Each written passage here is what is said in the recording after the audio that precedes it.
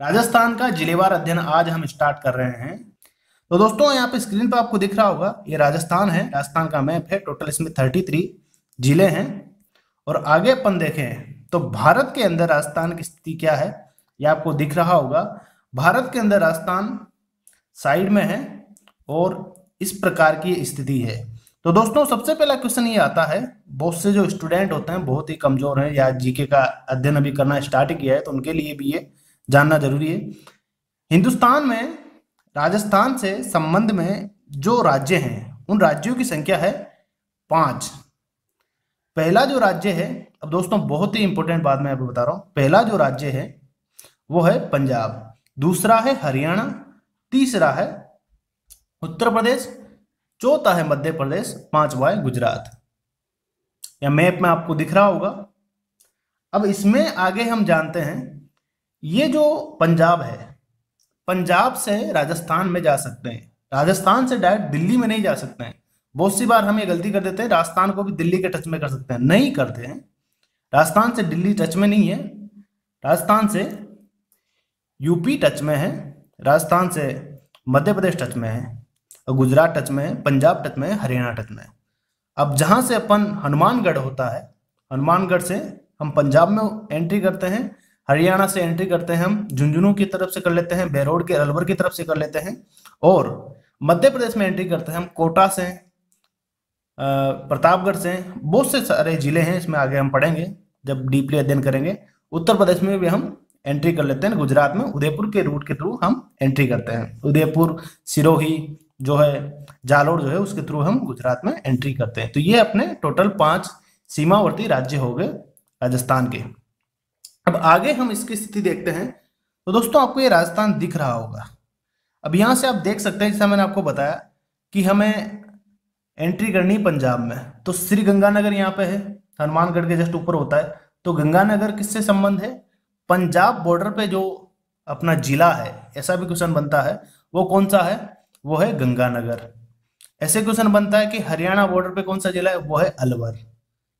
ऐसा क्वेश्चन बनता है, कोटा से कौन संबंध है? वो जिला है एमपी से संबंध जो कोटा रखता है, वो है कोटा जिला। प्रतापगढ़ भी ऐसा ही जिला है, रतलाम से संबंध रखता है, जहाँ रतलाम किसमें आता है?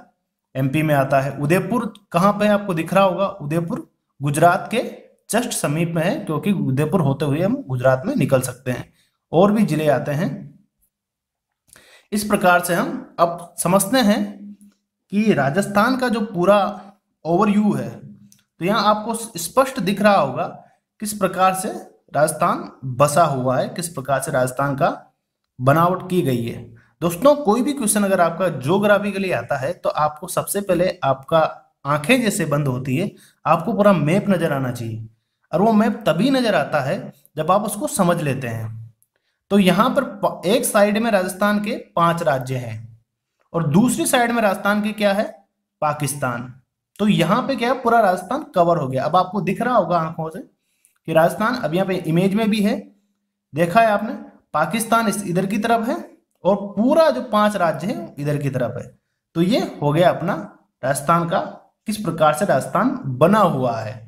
ऐसा इमेज अगर आपके दिमाग में आएगा, छपेगा ये तो आपको डेफिनेटली एग्ज़ाम में कतई दिक्कत नहीं होगी इस टाइप के क्वेश्चन सोल्व करने में। जैसे मान लो क्वेश्चन आ जाता है, झुंझुनू ज़िले से कौन से राज्य की सीमा टच करती है?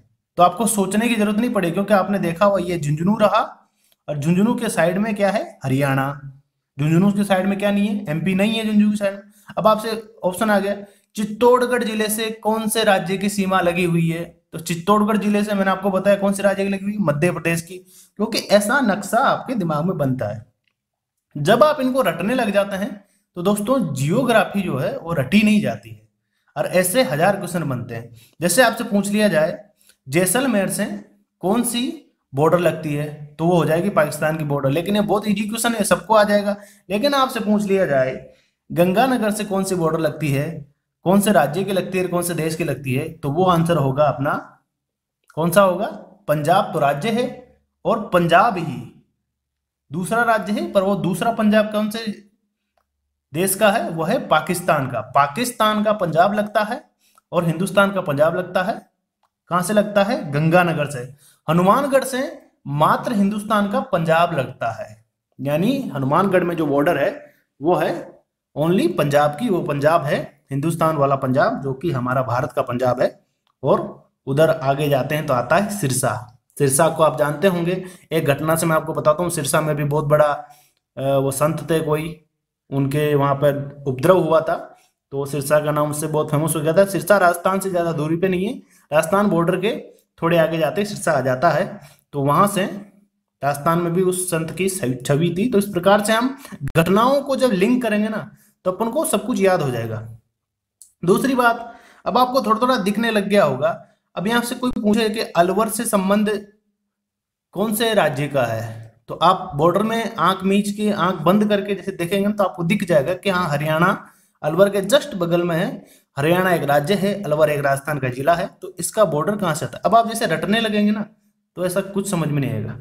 जैसे मैंने कहा था, जालोर से लगा हुआ है गुजरात, ये देखो जालोर, नीचे आओ, बाड़मेर के साइड में जालोर दिख रहा होगा। जालोर से क्या है? गुजरात है गुजरात दिख गया आपको। दोस्तों, ऐसे पढ़ा करो, ताकि आपको ज़्यादा रटने की ज़रूरत ना पड़े, अपने आप सब चीज़ याद है अब उदयपुर से कहाँ जाते हैं? अहमदाबाद जाते हैं। अहमदाबाद कहाँ है? गुजरात में है तो उदयपुर से गुजरात है, डूंगरपुर से गुजरात है, बांसवाड़ा से गुजरात है। तो इस प्रकार गुजरात से कितने ज़िले लगे हुए हैं? एक, दो, तीन, चार, पाँच। पाँच ज़िले जो हैं, वो डायरेक्ट गुजरात से लगे हुए हैं और पाकिस्तान से कितने ज़िले लगे हुए हैं? चार ज़िले। चार जिलों में कौन सा आता है? बाड़मेर, जैसलमेर, बीकानेर और गंगानगर। दोस्तों ऐसे मैप से अगर आप पढ़ेंगे तो आपको इजीली समझ में आ जाएगा। एमपी से कितने ज़िले लगे हुए हैं? मध्य प्रदेश अपने लिखा हुआ है धौलपुर, करौली, सवाई माधोपुर बारह झालावाड़, कोटा भी एमपी से लगा हुआ है, चित्तौड़गढ़ और प्रतापगढ़। तो एमपी का बहुत बड़ा हिस्सा अपना इसमें लगा हुआ है, बांसवाड़ा भी लगा हुआ है।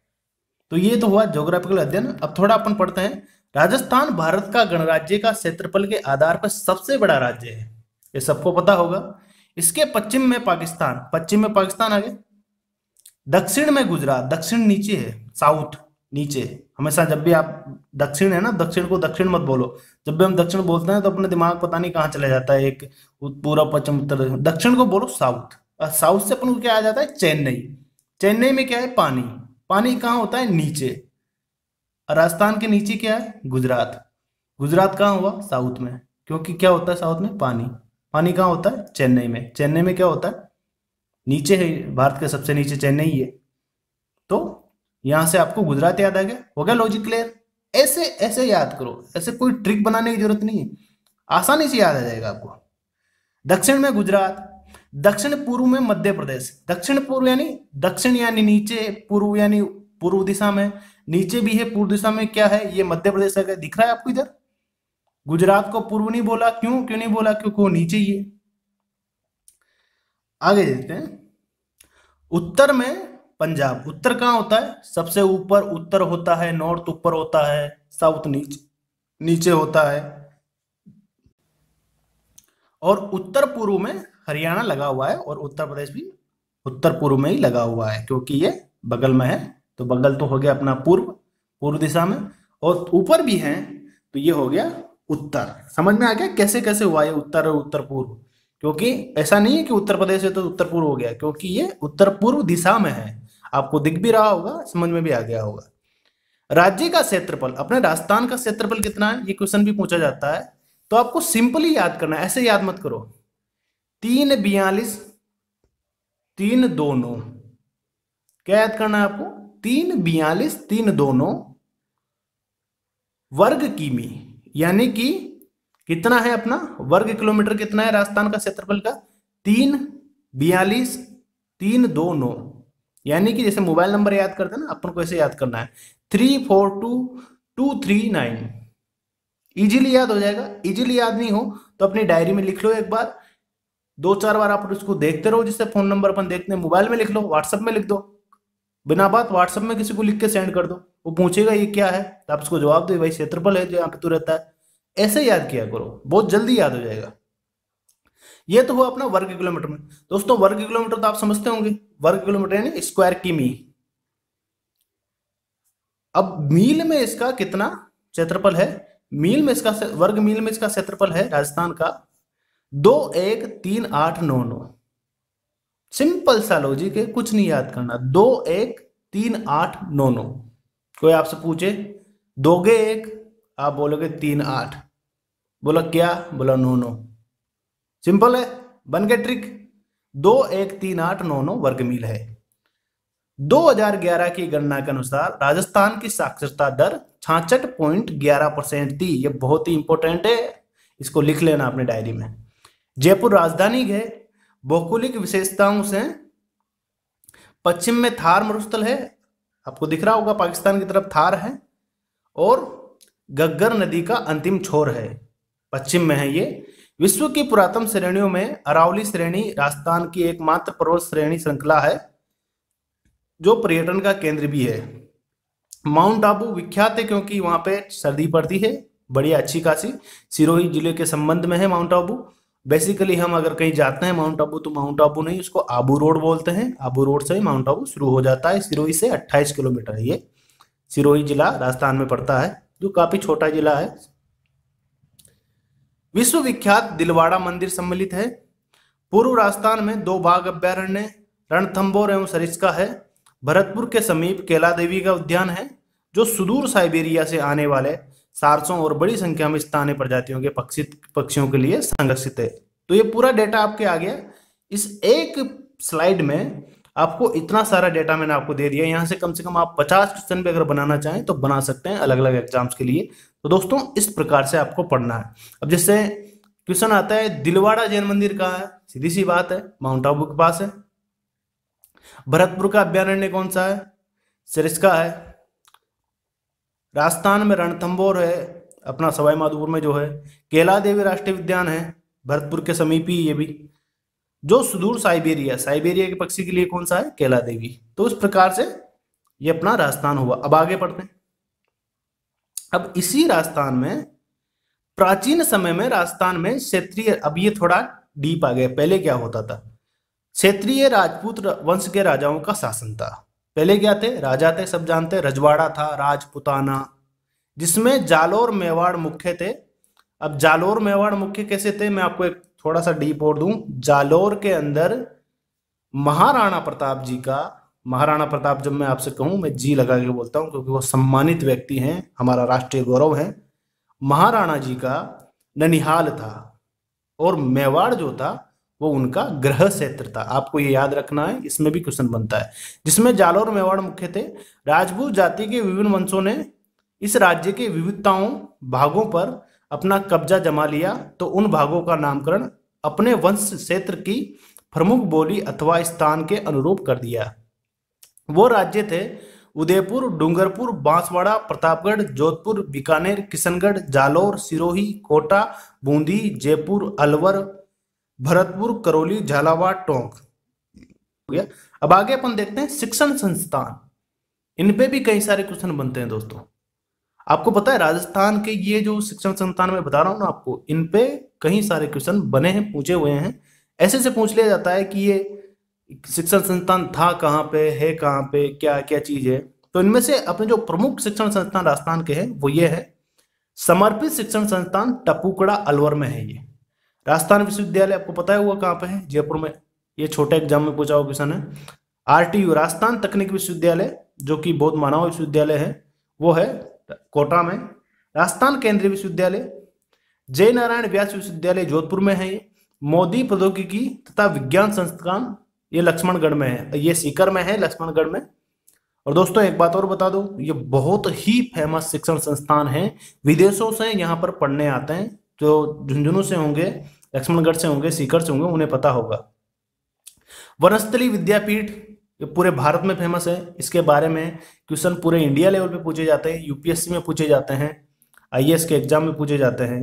राजस्थान विद्यापीठ, जो उदयपुर में है बिरला प्रौद्योगिकी एवं विज्ञान संस्थान ये पिलानी में है, जो भी बहुत फ़ेमस है। पिलानी से बहुत लोग बीटेक करते हैं इंजीनियरिंग की पढ़ाई करते हैं। जैन विवाह भारती, दोस्तों ये ये जैन यूनिवर्सिटी है जैन विवाह भारती, जो गर्ल्स के लिए है और ये नागौर ज़िले के लाडनू क्षेत्र में है। और यहाँ पे मोहनलाल सुखाड़िया विश्वविद्यालय है, जो उदयपुर में है, राष्ट्रीय विश्वविद्यालय। कुल मिलाकर इस प्रकार से वर्धमान खुला विश्वविद्यालय, सारे विश्वविद्यालय जो है, वो स्टाफ से आपको थोड़ा थोड़ा इनको देखना है। कहीं को कोई क्वेश्चन बन जाए तो आपका गलत ना हो। वैसे तो बहुत सारे तो आपको याद ही होंगे। मौलाना अबुल कलाम आज़ाद विश्वविद्यालय जोधपुर में है, इसके बारे में क्वेश्चन पूछा जाता है।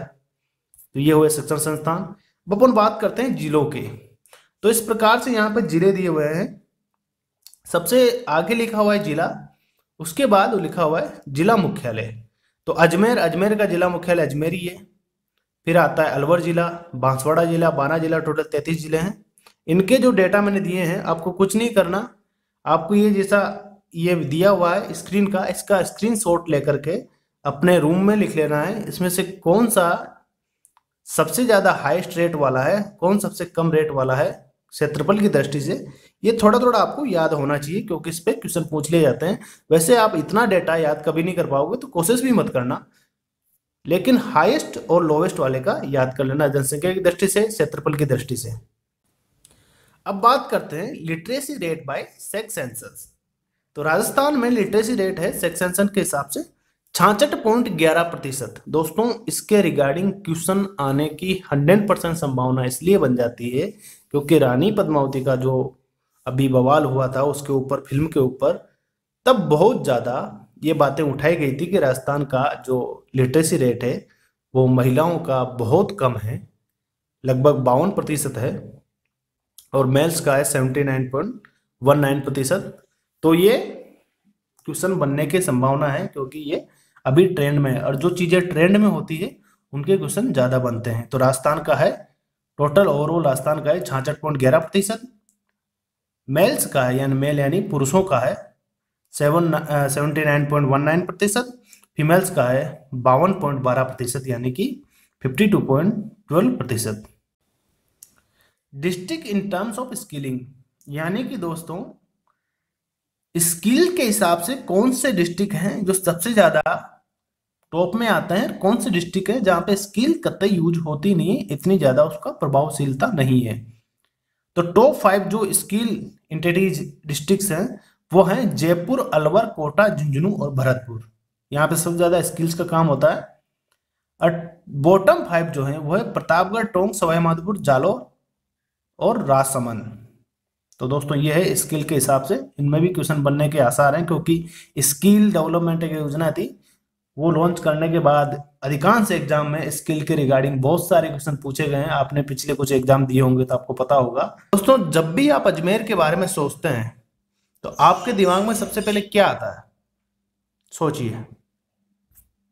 ये फ़ोटो जो मैं आपको दिखा रहा हूँ स्क्रीन पे, इस प्रकार के चित्र आपके दिमाग में आते हैं क्या? दोस्तों, जब भी आप अजमेर के बारे में सोचते होंगे, कुछ इसी टाइप के चित्र आपके दिमाग में आते होंगे। आप इन चित्रों को ध्यान से देखिए। ध्यान से देखिए दोस्तों। कुछ याद आ रहा है आपको? दोस्तों, मेरा तरीका थोड़ा अलग है, लेकिन पैटेंट है। दोस्तों, आपने जो चित्र देखे अभी, अगर वो चित्र आपके दिमाग में आते हैं तो आपके आधे से ज़्यादा क्वेश्चन सोल्व हो जाते हैं। दोस्तों, उन चित्रों में मैंने दिखाया आपको अढ़ाई दिन का झोपड़ा। इसके संबंध में कई सारे एग्ज़ाम्स में कई क्वेश्चन पूछे गए हैं। इवन इंडिया लेवल के एग्ज़ाम में पूछे गए हैं। अजमेर दुर्ग मैंने दिखाया, आना सागर मैंने दिखाया फाई सागर दिखाया टाडगढ़ रावली अभ्यारण्य जो होता है, वो हमने देखा, और दरगाह का जो चित्र था सबसे पहला, वो हमने देखा। तो ये कुछ जो है, अजमेर के प्रमुख स्थल्स हैं। तो आपने ऐसे चित्रों के माध्यम से याद करना है याद करके, मनन करके एग्ज़ाम में जब क्वेश्चन आए तो सोचना है कि हाँ यार, कुछ न कुछ तो याद आ रहा है। इसी हिसाब से अगर आप पढ़ाई करेंगे तो बहुत ही इजीली आपका हर एक क्वेश्चन सही हो जाएगा और आपको रटने की भी ज़रूरत नहीं है। खैर, ये तो हुई चित्रों की बात। अब आते हैं मेन पॉइंट पे। यहाँ से अपना टॉपिक स्टार्ट होता है। दोस्तों, अजमेर जिला, यानी कि अजमेर डिस्ट्रिक्ट जो है राजस्थान में वो कहाँ पड़ता है और वो भारत में कहाँ पे पड़ता है? तो दोस्तों, ये है राजस्थान। राजस्थान में ये भारत दिख रहा है आपको? भारत कहाँ पे है?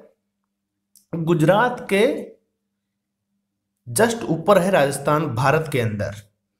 और राजस्थान के जस्ट मध्य में क्या है? अजमेर।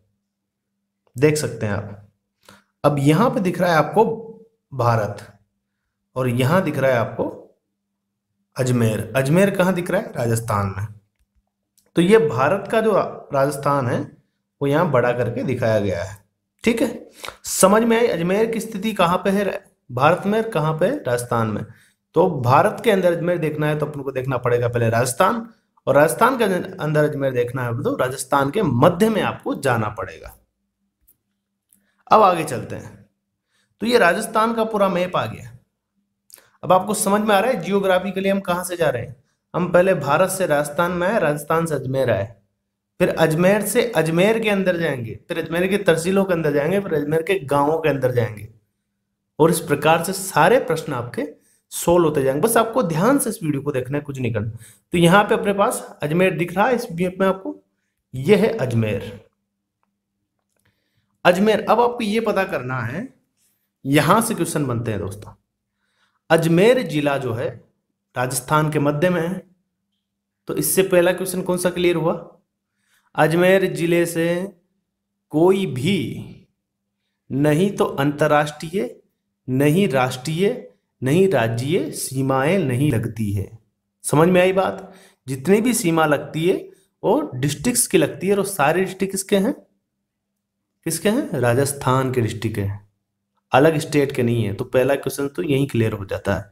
कई बार पूछ लिया जाता है कि अजमेर से कौन से राज्य की सीमा लगती है उनमें से कोई नहीं उसमें आंसर में, ऑप्शन में होता है, आपको वही टिक करके आना होता है। सोचने की ज़रूरत ही नहीं, इस तरीके से पढ़ेंगे तो बहुत ही इजीली आपका सब कुछ क्लियर होता जाएगा। अब क्वेश्चन इतना भी इजी नहीं आता, बहुत छोटे छोटे एग्ज़ाम में ऐसे क्वेश्चन पूछे जाते हैं। क्वेश्चन ऐसे आता है, अजमेर ज़िले से और कौन से जिलों की सीमाएँ टच होती है? तो आप यहाँ पे देखिए, कितने ज़िले हैं? बूंदी की टच होती है? होती है बूंदी की टच नहीं होती, क्योंकि यहाँ पे आप देखेंगे, ये बूंदी है और ये भीलवाड़ा है, ये टोंक है तो बूंदी अजमेर से टच में नहीं है। टोंक टच होता है, जयपुर टच होता है, नागौर टच होता है, पाली टच होता है और अपना राजसमंद भी अजमेर से टच होता है, क्योंकि यहाँ पर ब्यावर तहसील है, दोस्तों, ये आपको पता नहीं होगा, अभी पूरा डीपली अध्ययन करेंगे सब समझ में आया? पूरा एजिटीज आपको सब कुछ समझ में आ जाएगा। राजसमंद टच होता है भीलवाड़ा। तो टोटल कितने हो गए? भीलवाड़ा, टोंक, जयपुर, नागौर, पाली राजसमंद यानी कि छह ज़िले अजमेर से टच होते हैं। अजमेर मध्य भाग में है। समझ में आई बात? अब ये जो दूसरा चित्र दिख रहा है आपको साइड में, ये है मुख्यतः अजमेर का चित्र। इसमें ये जो दिख रहे हैं आपको पार्ट ये हैं तहसीलें। अजमेर की तहसीलें हैं। अजमेर के अंदर टोटल नौ तहसील है। दोस्तों, ये क्वेश्चन भी पूछे हुए हैं बहुत बार कि अजमेर में कितनी तहसील है। कोई से भी डिस्ट्रिक्ट की पूछ ली जाती है बेसिकली अजमेर की नहीं। तो आप अगर रटते हैं तो आपको याद नहीं रहता। लेकिन आप इस तरीके से अगर इसको दिमाग में इमेज बना लेते हैं फ़ोटो बना लेते हैं, छप जाता है आपके तो सब कुछ आपको याद रहता है। कुछ भी रटने की, पढ़ने की ज़रूरत ही नहीं है। बस आपको जैसे मूवी देखते हैं ना सोले मूवी देखी, अभी तक भूले हैं क्या? कितने जमाने पहले देखी थी। तो ये मूवी तो चल रही है। इस मूवी का नाम अजमेर, इसका एक्टर है अजमेर। बस ध्यान से देखना, कुछ नहीं करना। पढ़ोगे तो भूलोगे। समझ में आई बात? कितनी तहसीलें हैं? नौ। कितने डिस्ट्रिक्ट जुड़े हुए हैं? छ। कोई कहेगा कैसे जुड़े हैं साहब छः? हम क्यों रटे साहब? देखो साहब, ये देखो कितने हैं। भीलवाड़ा, टोंक, जयपुर, नागौर पाली राजसमंद समझ में आएगी? कोई ट्रिक लगाने की ज़रूरत नहीं। ट्रिक लगाओ, भूलोगे। अजमेर की ट्रिक बूंदी में चली जाएगी, बूंदी की ट्रिक कोटा। कोटा की ट्रिक सवाई माधोपुर। दिक्कत ही नहीं है, डायरेक्ट याद रखो। अजमेर अजमेर कहाँ है? राजस्थान के मध्य में। मध्य में तो कोई सीमा लगेगी नहीं। सीमा लगेगी तो डिस्ट्रिक्टों की लगेगी। डिस्ट्रिक्ट कौन से? भीलवाड़ा है, टोंक है, जयपुर है, नागौर है पाली है राजसमंद और क्या है? छह ज़िले हैं, बस, हो गया खत्म अजमेर अब आगे देखते हैं। समझ में आ रहा है ना आपको? इसी तरीके से समझाता हूँ दोस्तों मैं। मेरा तरीका थोड़ा अलग है, क्योंकि अपने पास जब टेक्नोलॉजी है तो उसका इस्तेमाल क्यों नहीं किया जाता? हम क्यों चौंक और बोर्ड लेकर उन्हीं पुराने तरीकों से पढ़ते आ रहे हैं? अब नया तरीका आ गया, नए तरीके से पढ़ेंगे, नए तरीके से याद करेंगे, और याद तो करने का ही नहीं है। कुछ याद नहीं करने का। बिना पढ़े आपको सब कुछ याद हो जाएगा। बस आप ध्यान से देखते जाइए। अब यहाँ पे आपको दिख रहा है, एक तरफ़ जो है आपका अजमेर का नक्शा है। अब दोस्तों, आप भले अजमेर से बिलोंग भी करते होंगे ना तो भी आपको अजमेर का नक्शा ध्यान नहीं होगा कैसा होता है। लेकिन ये वीडियो को देखने के बाद आपको पता चल गया होगा हाँ यार, ऐसा हल जैसा कुछ होता है, त्रिभुज जैसा है, साइड में ब्यावर निकला हुआ है, ऊपर ही ऊपर किशनगढ़ है, दूसरे साइड में केकड़ी है, इस प्रकार से अजमेर है। और अजमेर की अजमेर तहसील कहाँ पे है? केकड़ी और पिलसन के बीच में, नसीराबाद बीचों बीच पड़ता है। अब एक क्वेश्चन ऐसे भी आता है अजमेर के बीचों बीच कौन सी तहसील पड़ती है? तो आप कितना ही रट लो, याद नहीं होगा, लेकिन आपने देख लिया ना, ये नसीराबाद पड़ती है। नसीराबाद के क्या फ़ेमस है? नसीराबाद के कचौरे बहुत ज़्यादा फ़ेमस है। इन पे कभी क्वेश्चन बन सकता है, हालाँकि अभी तक तो बना नहीं है। अब थोड़ा स्टेटिक्स देखते हैं इसका। अजमेर किसमें पड़ता है? राजस्थान में। और यहाँ कितने नौ सब डिस्ट्रिक्ट है। नौ सब डिस्ट्रिक्ट यानी तहसील। नौ तहसील है, ग्यारह टाउन है। वन वन वन वन यानी कि एक हज़ार एक सौ ग्यारह गाँव हैं। बहुत ही सुंदर आंकड़ा है। एक हज़ार एक सौ ग्यारह गाँव हैं, ग्यारह टाउन्स हैं और आठ सिटी ब्लॉक्स हैं। समझ में आई बात? नौ सब्जेक्ट हो गए अपने। ग्यारह टाउन हो गए। ग्यारह टाउन हो गए तो ग्यारह ग्यारह विलेज हो गए, यानी कि वन वन वन वन यानी विलेज हो गए।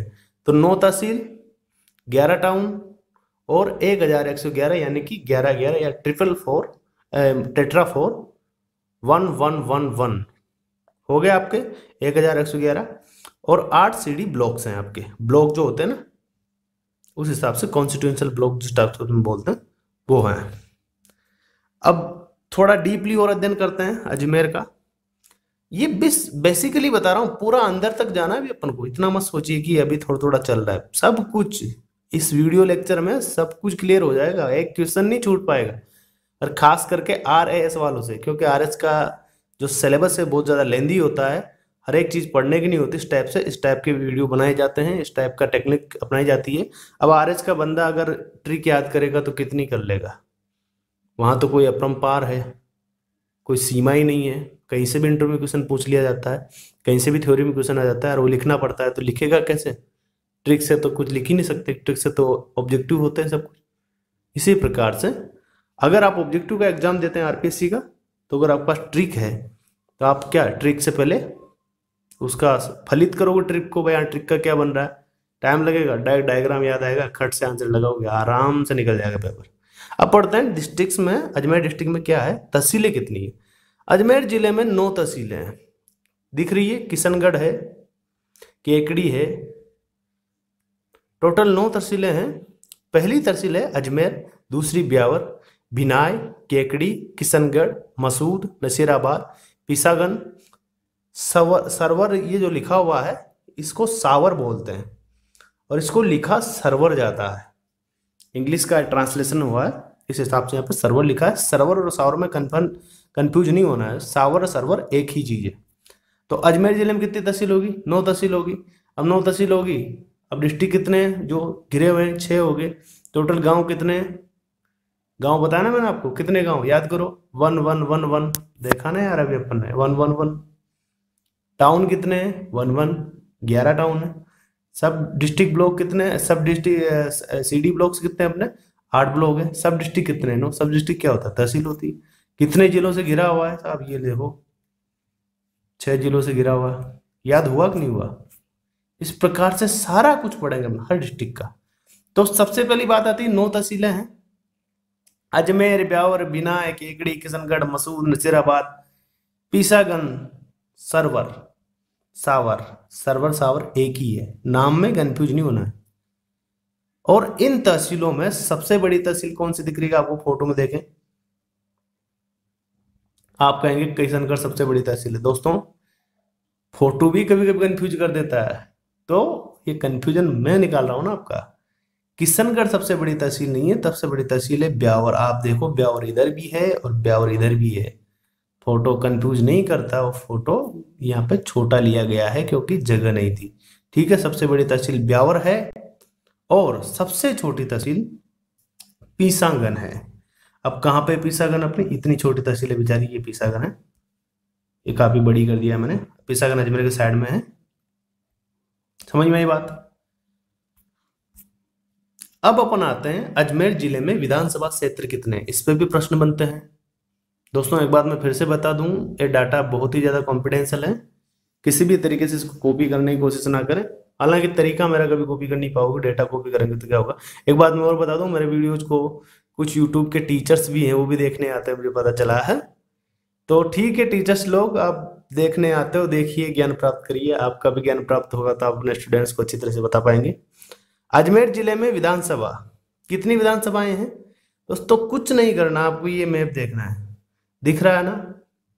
अब आपने क्या तहसीलें जब निकाल ली, आपने उसके साइड के ज़िले छः हैं, वो याद कर लिए आपने अजमेर कहाँ राजस्थान, वो याद कर लिया तो क्या आप विधानसभा याद नहीं कर पाओगे क्या? इजीली कर लोगे। अब बहुत बढ़िया लॉजिक बताता हूँ मैं आपको।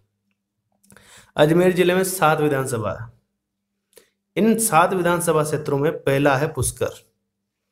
अब एक बात ध्यान रखना, पुष्कर पे ये क्वेश्चन बना हुआ है दो तीन बार आया हुआ है। पुष्कर जो है, अजमेर ज़िले का है। विधानसभा क्षेत्र, संसदीय क्षेत्र, तहसील और नगर निकाय। तो इसमें से क्या आंसर आपका निकलेगा? निकाल लेना। तो अजमेर जिला जो है, अजमेर ज़िले में पुष्कर जो है, वो विधानसभा क्षेत्र है। अजमेर उत्तर है, अजमेर साउथ है, नसीराबाद है, ब्यावर है मासूदा और केकड़ी है। केकड़ी तहसील भी है, ब्यावर तहसील भी है, नसीराबाद तहसील भी है, मासूदा तहसील भी है, अजमेर तो तहसील है ही से अजमेर के, अजमेर साउथ और अजमेर उत्तर और एक जो तहसील है वो है पुष्कर। तो दोस्तों, ये हो गई इनकी तहसीलें। अब आपको एक बात मैं और बताता चलूँ। अजमेर का जो एक पार्ट है ब्यावर का, वो ब्यावर का जो पार्ट है, मैं आपको थोड़ा राजस्थान के डीप में बताता हूँ। ये अजमेर है, यहाँ पे ये ब्यावर है। ये पाली के राजसमंद के बीच में जो छोटा सा दिख रहा है, नीला सा ब्लॉक, ये ब्यावर है। यहाँ से ब्यावर तहसील है। ये ब्यावर जो है, राजसमंद और पाली के बीच में है। तो आपको ये कंफ्यूज नहीं होना है कि ये दूसरा जो पार्ट है, यहाँ से जो आ रहा है, ये ये दोनों ब्यावर ही है और ये बीच में से टूटा नहीं हुआ, ये अजमेर में ही जुड़ा हुआ है। तो इतना ध्यान रखना है। अरे ब्यावर से क्या ध्यान रखना है? ब्यावर से आपको ये ध्यान रखना है, ये अजमेर की सबसे बड़ी तहसील है। तो आपको याद हुआ कितने विधानसभा क्षेत्र हैं? कितनी तहसीलें हैं? समझ में आएगी सात विधानसभा क्षेत्र हैं, नौ तहसीलें हैं, छह जिलों से जुड़ा हुआ है। लगभग लगभग याद ही हो गया अब तो। अजमेर, उत्तर, पश्चिमी रेलवे, दिल्ली, अहमदाबाद मार्ग पर स्थित है। दोस्तों, अभी हमने पढ़ा, अजमेर जो है दिल्ली, अहमदाबाद के रूट के अंदर है। अब हम देखते हैं किस प्रकार से ये इसकी जोग्राफिकल कंडीशन क्या है। दोस्तों, ये हमारा भारत है। और भारत के अंदर ये हमारा राजस्थान आ गया। राजस्थान के अंदर हमें जाना है दिल्ली से लेकर के अहमदाबाद के लिए। तो दिल्ली से अहमदाबाद के लिए जैसे हम जाएँगे तो हमारे पास यहाँ पे दिख रहा है अहमदाबाद कहाँ पे? गुजरात में। तो हम अहमदाबाद देखते हैं। ये गुजरात में ये अहमदाबाद है, दिख गया। और हमें जाना है अब दिल्ली। दिल्ली जाने के लिए बहुत ही ईजीली आपको समझ में आ जाएगा, ये दिल्ली है। अब उसके लिए हमें पहले आना पड़ेगा जयपुर, और जयपुर आने के बाद राजस्थान में अजमेर जाना पड़ेगा। तो रेलवे लाइन जो ये जा रही है वो दिल्ली से अहमदाबाद के मध्य में क्या पड़ता है? अजमेर। यही यहाँ पे समझाना चाह रहा है तो इस प्रकार से अगर कोई भी प्रश्न आपके पूछा जाए कि दिल्ली अहमदाबाद रूट के अंदर कौन सा जिला पड़ता है तो वो जिला है अजमेर। और भी ज़िले हैं राजस्थान के जो दिल्ली अहमदाबाद रूट के अंदर पड़ते हैं, लेकिन वो रूट जो है कोटा होकर के जाता है, कोटा बूंदी सवाई माधोपुर। समझ लिया किस प्रकार से स्थित है। आप भूलोगे नहीं उसको। जो जयपुर के दक्षिण पश्चिम से लगभग 135 किलोमीटर की दूरी पर है। जयपुर से 135 किलोमीटर की दूरी पर। अजमेर में तारागढ़ की पहाड़ी जिसे सिकर पर किला है, निचली ढलानों पर यह शहर स्थित है। पहाड़ी पे किला है और निचली ढलानों पर यह शहर स्थित है। पर्वतीय क्षेत्र में बसा अजमेर अरावली पर्वतमाला का एक हिस्सा है। अरावली पर्वतमाला कहाँ तक जा रही है? बूंदी में भी है। ये और ठेठ अलवर तक जा रही है।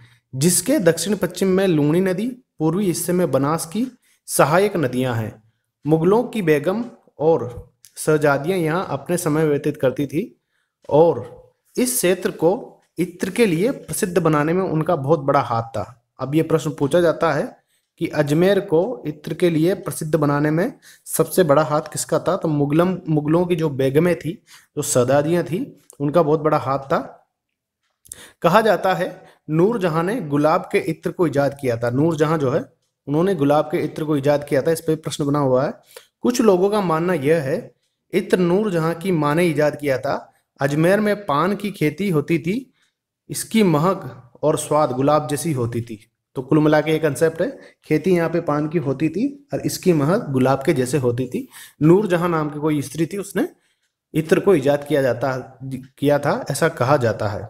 बहुत ही इजीली हम समझेंगे, कोई दिक्कत नहीं, कोई लोड लेने की ज़रूरत नहीं। हमारा तरीका सबसे अलग है, लेकिन सबसे ज़्यादा इफ़ेक्टिव है। अजमेर शहर का नाम अजमेरू नाम पर पड़ा। दोस्तों, आपको दिख रहा होगा, ये अजमेर का ही लुक है। चित्रों से हमें बहुत ज़्यादा याद आता है। जिसकी स्थापना सातवीं शताब्दी में गुज्जर के राजा अजय पाल चौहान ने की थी। ध्यान रखना, अजमेर की स्थापना किसने की थी? सातवीं शताब्दी में गुज्जर राजा अजय पाल चौहान ने की थी। अजमेर से 10 किलोमीटर की दूरी पर अजयपाल का मंदिर आज भी है। अजमेर के संस्थापक की याद दिलाता है, जो अजमेर से 10 किलोमीटर की दूरी पर अजयपाल का मंदिर है। और आज भी वो ये याद दिलाता था कि उनका अजमेर का स्थापना जो थी संस्थापक कौन थे? बारहवीं शताब्दी में गुज्जर राजा अजयराज चौहान के समय यह एक महत्वपूर्ण नगर बन गया। उसी ने अजमेर में ताड़ागढ़ नाम का एक मज़बूत किला बनाया। तो बहुत सारे प्रश्न यहाँ से निकल के आ रहे हैं, सारे क्लियर होते जा रहे हैं। संस्थापक कौन था? अजमेर का अजय पाल था। कौन सी जाति का था? गुज्जर था वो। गुज्जर राजा। अजमेर में तारागढ़ जो एक मज़बूत किला बनवाया था, वो भी अजय पाल ने ही बनवाया था। तो यहाँ से इस प्रकार से हम सारे क्वेश्चन क्लियर होते जा रहे हैं। अब यहाँ पढ़ते हैं अजमेर का इतिहास। अजमेर का इतिहास काफ़ी पुराना है। अजमेर के इतिहास की बात करते हैं हम। अजमेर का प्राचीन नाम अजमेरू था। ये हमने तीन चार बार इसी वीडियो में पढ़ लिया है। अब आपको याद हो गया होगा। बारहवीं शताब्दी की लिखी एक पुस्तक पृथ्वीराज विजय के अनुसार इस राज्य को साकंबरी चामान, वंश के राजा अजयराज द्वितीय ने बरसाया था। हमने पहले ही पढ़ लिया अगली स्लाइड में कि कौन था ये अजयराज जो था चौहान। इसका नाम था बारहवीं सदी के टाइम पे बनाया गया था और अजयपाल का मंदिर भी वहाँ पर है। उन्होंने 1110 से लेकर 1135 तक राज्य किया। प्रसिद्ध इतिहासकार दशरथ शर्मा के अनुसार पट्टावली लेक की जो 1113 में लिखा गया था, उसके अनुसार इस नगर का प्राचीन नाम धारा नगरी था। ध्यान रख लेना, प्राचीन नाम अजमेरू भी था, धारा नगरी भी है, पर धारा नगरी किसके अनुसार है? पट्टावली लेख के अनुसार। यही प्रश्न में गोचा खा जाते हैं। पट्टावली लेख के अनुसार है धारा नगरी, और प्राचीन नाम है अजमेरू। धारा नगरी था, अर्थात इसका नामकरण इससे पहले किया गया होगा। यानी कि उससे भी पहले का इतिहास यह है। यहाँ पर राजा अजयराज अजमेरू नामक दुर्ग का इस्तेमाल किया निर्माण किया था। जिसके नाम पर इस नगर का नामकरण हुआ। माना जाता है, इस बात की पुष्टि विग्रह राज चतुर्थ के प्रस्तुत लेख से होती है। विग्रह राज चतुर्थ नाम भोजनशाला के निर्माण के लिए जाना जाता है कि कालांतर में मुस्लिम शासकों ने ढाई दिन के झोपड़े में बदल दिया। ये ढाई दिन का झोपड़ा जो है, आपको दिख रहा होगा फ़ोटो में साफ़ साफ़ ये विग्रह राज चतुर्थ नाम भोजनशाला के निर्माण के लिए जाना जाता था पहले। भोजनशाला थी ये। जिसे कालांतर में मुस्लिम शासकों ने ढाई दिन के झोपड़े में तब्दील कर दिया गया। अढ़ाई दिन के झोपड़े के ऊपर बहुत सारे प्रश्न बनते हैं। अढ़ाई दिन के झोपड़े के बारे में कुछ जानकारी हम प्राप्त करते हैं। राजपुताना व बम्बई गजट के अनुसार अजमेर पर 700 वर्षों तक चौहान वंश के चेची गुजरों का राज रहा। गुजरों का ही पूरा राज था पहले। अजमेर में ग्यारह में, अजमेर की बात कर रहा हूँ मैं, अजमेर में ग्यारह ईस्वी में प्रथम गुज्जर नरेश बीसल देव चौहान ने एक मंदिर बनवाया था, जिसे उन्नीस सौ बानवे में मोहम्मद गोरी ने नष्ट करके उसके स्थान पर अढ़ाई दिन का झोपड़ा नामक मस्जिद बनवाई। कृषि और खनिज के बारे में बात करते हैं। इस वीडियो में पूरा बात करेंगे। पूरे डिस्ट्रिक्ट के कितने भी क्वेश्चन आए, हम यहाँ से निकाल कर ले जाएँगे और ये वीडियो देखने के बाद समस्त प्रकार के क्वेश्चन आपके सोल्व हो जाएँगे। अजमेर में कृषि की मुख्य व्यवसाय है।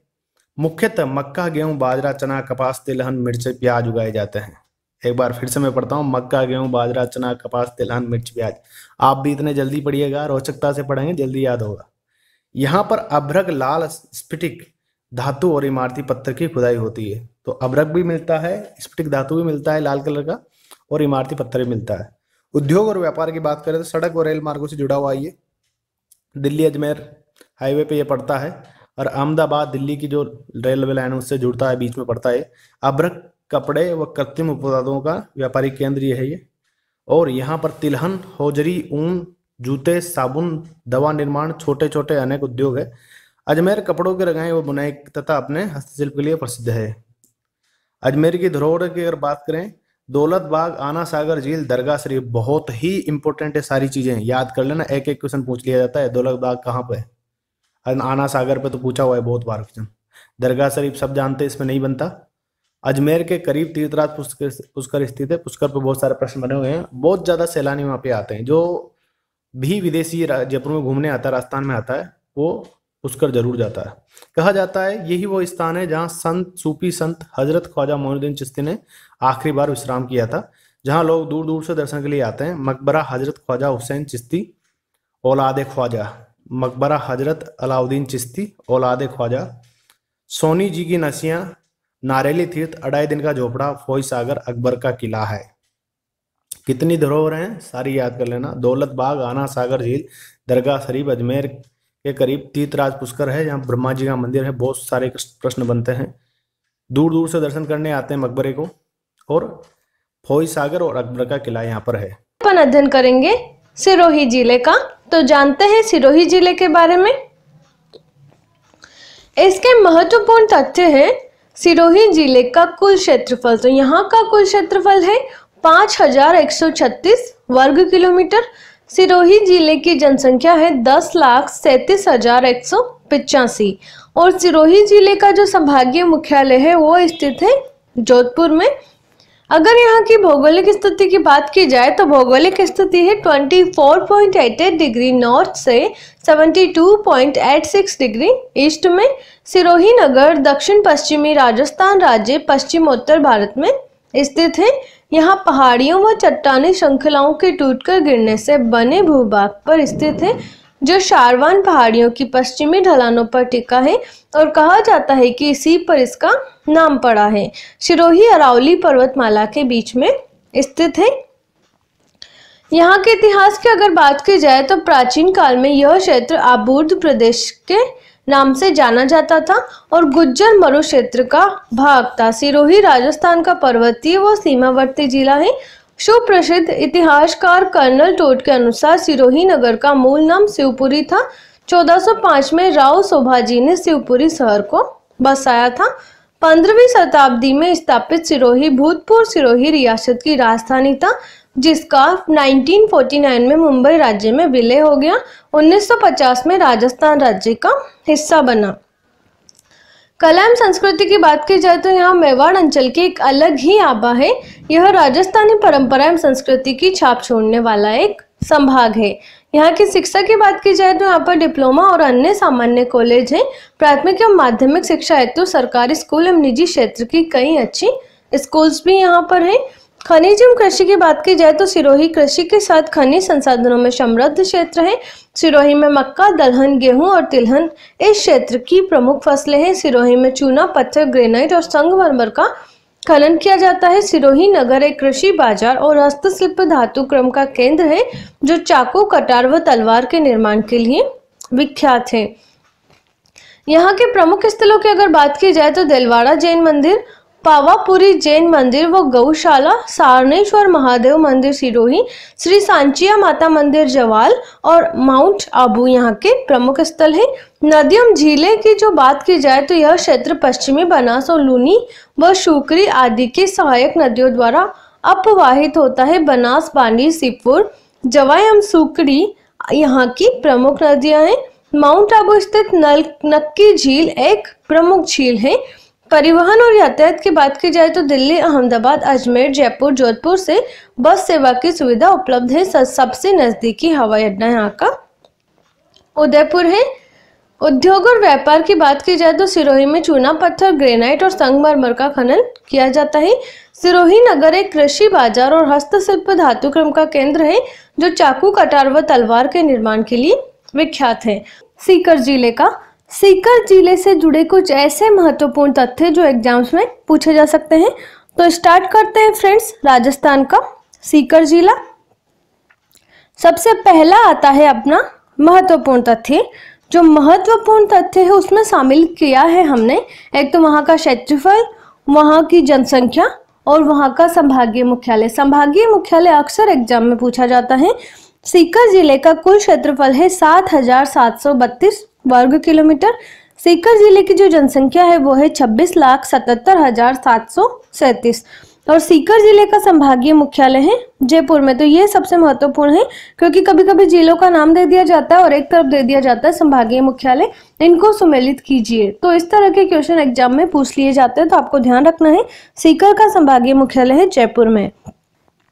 भौगोलिक स्थिति की बात की जाए तो भौगोलिक स्थिति है 27.62 डिग्री नॉर्थ से 75.15 डिग्री ईस्ट में है। सीकर जो है, शेखावटी राजस्थान का सबसे बड़ा शहर और जिला मुख्यालय है। सीकर, शेखावटी राजस्थान जो है अपना, उसका सबसे बड़ा शहर है और जिला मुख्यालय है। इसके बाद है इसके उत्तर में झुंझुनू उत्तर पश्चिम में चूरू दक्षिण पश्चिम में नागौर और दक्षिण पूर्व में जयपुर ज़िले की सीमाएँ लगती हैं। इसके जो उत्तर है उसमें झुंझुनू है उत्तर पश्चिम में चूरू है दक्षिण पश्चिम में नागौर और दक्षिण पूर्व में जयपुर जिला इसकी सीमाएँ इस, इससे लगती है। इतिहास की बात की जाए तो सीकर शहर जुजार सिंह नेहरा के नाम पर सन 1730 में बसाया गया था। सीकर सर जो है, जुजार सिंह नेहरा के नाम पर बसाया गया था 1730 में। नेहरा लोगों के प्रसिद्ध सरदार जुजार सिंह नेहरा का जन्म संवत 1721 विक्रमी श्रावण महीने में हुआ था। उनके पिता नवाब के यहाँ फौज के सरदार यानी फौजदार थे। उनकी हार्दिक इच्छा थी कि नवाब शाही के खिलाफ जाट लोग मिलकर बगावत करे। सरदार जुजार सिंह सारदू सिंह ने नवाब शाही को समाप्त किया, लेकिन उन्हें तिलक करने के बाद विश्वासाघात कर मार डाला। तो उनको जो है विश्वासघात करके मार दिया गया था। कलम संस्कृति की बात की जाए तो यह राजस्थानी परंपरा संस्कृति की छाप छोड़ने वाले एक संभाग का हिस्सा है। यहाँ शेखावटी लोक कला एवं वेशभूषा देखने को मिलती है। देखते ही बनती है यहाँ की जो शेखावटी लोक कला है और वेशभूषा है। शिक्षा की बात की जाए तो यहाँ शेखावटी का एक प्रमुख शिक्षा केंद्र है। शेखावटी का ही प्रमुख शिक्षा केंद्र वहाँ पर स्थित है। प्राथमिक एवं माध्यमिक शिक्षा हेतु सरकारी स्कूल एवं निजी क्षेत्र के कई स्कूल हैं। तकनीकी शिक्षा के लिए इंजीनियरिंग एवं डिप्लोमा कॉलेजेस भी हैं। सीकर में दो महाविद्यालय हैं जो राजस्थान विश्वविद्यालय से संबद्ध है। खनिजम कृषि की बात की जाए तो कृषि यहाँ का मुख्य पेशा है। बाजरा, दालें, जौ और कपास मुख्य फ़सलें हैं। ज़िले में सीमेंट और कपास ओटाई के कारखाने हैं। यहाँ बेरेलियम अब्रक संगमरमर और फ्लोराइड का खनन होता है। एक तो बेरेलियम मिलता है, अब्रक मिलता है, संगमरमर और फ्लोराइड यहाँ पर मिलते हैं। यहाँ के प्रमुख स्थलों की बात की जाए तो खाटू श्याम जी, भारत देश के राजस्थान राज्य के सीकर ज़िले में एक प्रसिद्ध कस्बा है, जहाँ पर बाबा श्याम का जग विख्यात मंदिर स्थित है। हिंदू धर्म के अनुसार खाटू श्याम जी कलयुग में कृष्ण का अवतार है, जिन्होंने श्री कृष्ण से वरदान प्राप्त किया था कि वे कलयुग में उनके नाम से पूजे जाएँगे। हर्षनाथ मंदिर सीकर ज़िले के निकट स्थित एक ऐतिहासिक मंदिर है, चावमान शासकों के कुल देवता शिव हर्षनाथ का यह मंदिर हर्षगिरी पर स्थित है तथा महामेरु शैली में निर्मित है। हर्षगिरी ग्राम के पास हर्षगिरी नामक पहाड़ी है, जो 3000 फुट ऊँची है और इस पर लगभग 900 वर्ष से अधिक प्राचीन मंदिरों के खंडर हैं।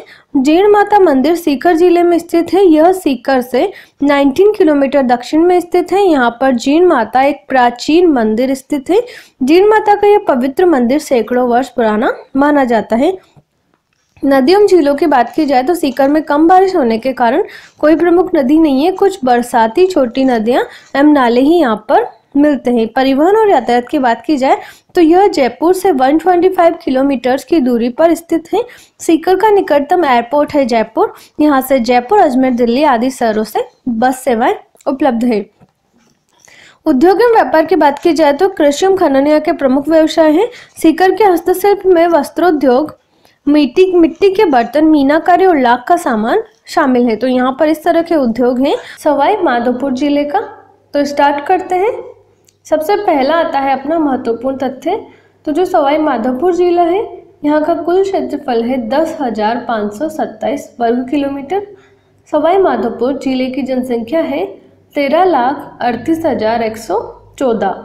और सवाई माधोपुर ज़िले का जो संभागीय मुख्यालय है, वो है भरतपुर में। इसके बाद आती है की भौगोलिक स्थिति। भौगोलिक स्थिति की बात की जाए तो 25 डिग्री 59 मिनट्स नॉर्थ से 76 डिग्री 22 मिनट्स ईस्ट में है। सवाई माधोपुर ज़िले में निम्न तहसीलें अब वहाँ पर तहसीलें कौन कौन सी तो वो है गंगापुर सिटी सवाई माधोपुर बोली, बामनवास और खंडार। सवाई माधोपुर राजस्थान के प्रमुख शहरों में से एक है। यह शहर रणसंभव राष्ट्रीय उद्यान के लिए विश्व प्रसिद्ध है। यह स्थान केवल राष्ट्रीय उद्यान के लिए ही नहीं, बल्कि अपने मंदिरों के लिए भी फ़ेमस है। इतिहास की बात की जाए तो इस शहर की स्थापना सवाई माधोपुर, सवाई माधो सिंह प्रथम ने 19 जनवरी 1763 में की थी, जो जयपुर के महाराजा थे। 18वीं शताब्दी में महाराजा सवाई माधो सिंह द्वारा इस शहर की स्थापना करने के बाद उन्हीं के नाम पर इस जगह का नाम सवाई माधोपुर रख दिया गया। कला एवं संस्कृति की बात की जाए तो सवाई माधोपुर में हर मंदिर के साथ कोई ना कोई कहानी जुड़ी हुई है। खूबसूरत वास्तुशिल्प से सजे हुए मंदिर बड़ी संख्या में श्रद्धालुओं को अपनी ओर खींचते हैं। यह राजधानी, यह राजस्थानी परंपरा एवं संस्कृति की छाप छोड़ने वाला एक संभाग है। शिक्षा की बात की जाए तो यहाँ पर डिप्लोमा और अन्य सामान्य कॉलेज है। प्राथमिक एवं माध्यमिक शिक्षा हेतु तो सरकारी स्कूल एवं निजी क्षेत्र के कई अच्छे स्कूल्स भी हैं। खनिज एवं कृषि की बात की जाए तो सवाई माधोपुर कृषि समृद्ध क्षेत्र है। प्रमुख स्थल में आता है रणथंबोर राष्ट्रीय उद्यान। सवाई माधोपुर का प्रमुख पर्यटक स्थल है। यह उद्यान देश के बेहतरीन बाघ आरक्षित क्षेत्रों में से एक है। 1981 में इसे राष्ट्रीय उद्यान का दर्जा मिला। 392 वर्ग किलोमीटर में फैला यह उद्यान अरावली और विंध्य की पहाड़ियों में फैला है। त्रिनेत्र गणेश मंदिर एक प्रमुख मंदिर है। यहाँ गणेश चतुर्थी मेला सवाई माधोपुर का सबसे बड़ा मेला है। देश के हर हिस्से से हज़ारों लोग सुख समृद्धि के इस देवता का आशीर्वाद प्राप्त करने आते हैं। अमरश्वर महादेव मंदिर। रणथंबोर राष्ट्रीय उद्यान के रास्ते में खूबसूरत पहाड़ियों के बीच पवित्र मंदिर है, खंडार किला। मध्यकाल में बना तारागढ़ का खंडार किला सवाई माधोपुर से 40 किलोमीटर दूर है। नदियों, झीलों की बात की जाए तो सवाई माधोपुर में प्रमुख नदियों में मोरेल, चंबल और बनास है। सुरवाल झील एक प्रमुख झील है, जहाँ बहुत से पक्षी भी देखे जा सकते हैं। परिवहन और यातायात, दिल्ली, जयपुर से बस सेवा की सुविधा उपलब्ध है। सवाई माधोपुर में रेलवे स्टेशन है, जो जयपुर के अन्य प्रमुख शहरों से जुड़ा हुआ है। राष्ट्रीय राजमार्ग इलेवन और ट्वेल्व के रास्ते सवाई माधोपुर पहुँचा जा सकता है।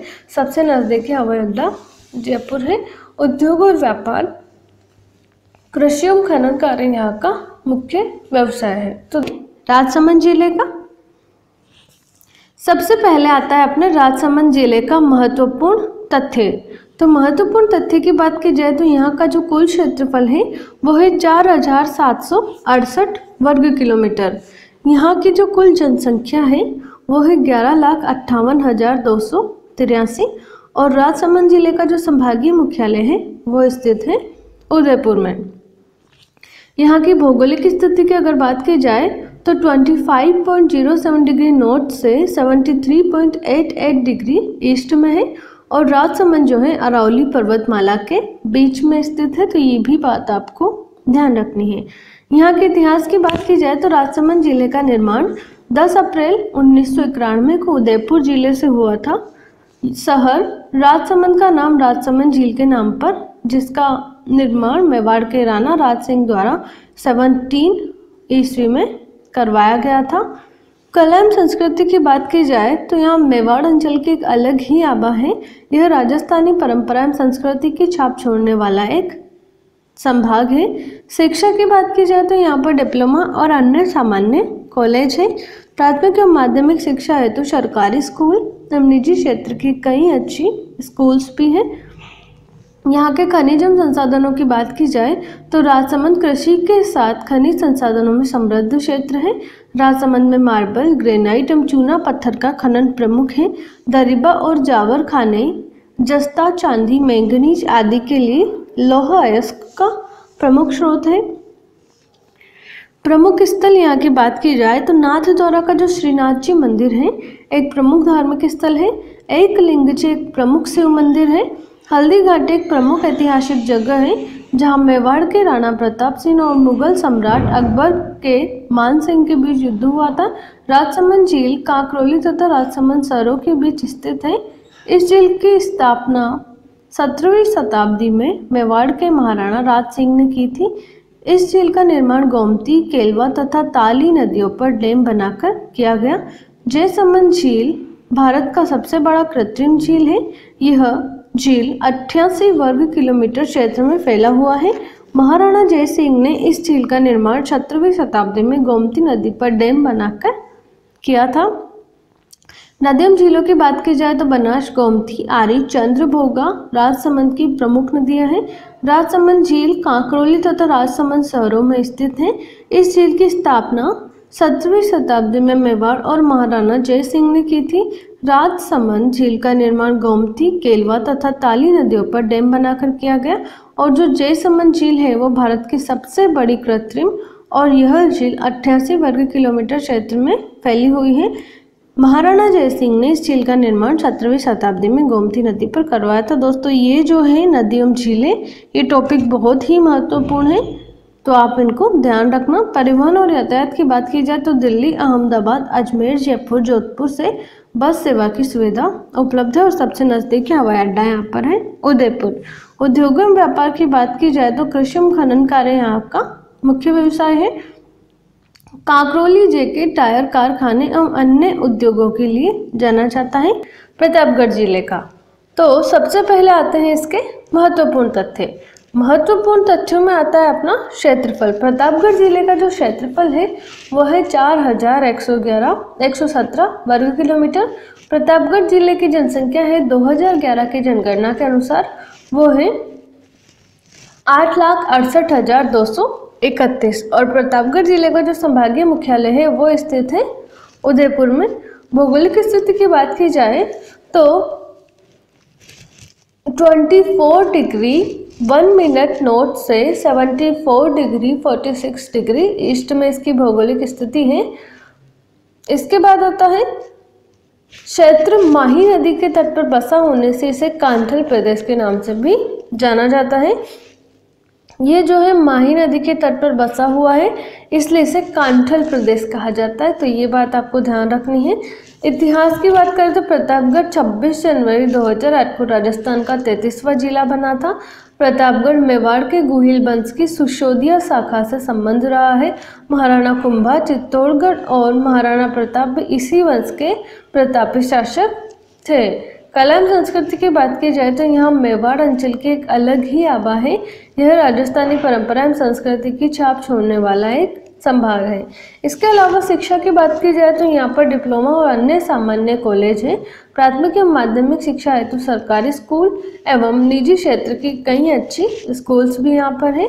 खनिज एवं कृषि की बात की जाए तो प्रतापगढ़ में सभी प्रकार की कृषि की जाती है। प्रतापगढ़ मार्बल एवं ग्रेनाइट के खनन के लिए जाना जाता है और यहाँ वन संपदा एवं कृषि के प्रमुख व्यवसाय हैं। प्रमुख स्थलों की बात की जाए तो सीता माता वन्यजीव अभ्यारण्य प्रतापगढ़ ज़िले के दक्षिण पूर्वी भाग में स्थित एक वन्यजीव अभ्यारण्य है। सीता माता अभ्यारण्य उड़न गिलहरी के लिए प्रसिद्ध है। नदियों झीलों की बात की जाए तो प्रतापगढ़ की मुख्य नदियों में जाखम, माही और सिवाना प्रमुख है। परिवहन और यातायात की बात की जाए तो दिल्ली, अहमदाबाद अजमेर जयपुर जोधपुर से बस सेवा की सुविधा उपलब्ध है। सबसे नज़दीकी हवाई अड्डा यहाँ पर उदयपुर है। उद्योग और व्यापार की बात की जाए तो कृषि एवं खनन कार्य यहाँ का मुख्य व्यवसाय है। पाली ज़िले का तो स्टार्ट करते हैं। सबसे पहला है महत्वपूर्ण तथ्य। पाली ज़िले का जो कुल क्षेत्रफल है, वो है बारह हज़ार तीन सौ सत्तासी वर्ग किलोमीटर। पाली ज़िले की जनसंख्या है 2011 के जनगणना के अनुसार बीस लाख अड़तीस हज़ार पाँच सौ तैतीस।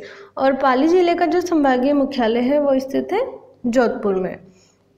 यहाँ की भौगोलिक स्थिति की अगर बात की जाए तो ये है twenty five degree four six north से, मिनट नॉर्थ से 73 डिग्री 90 मिनट ईस्ट में है ये।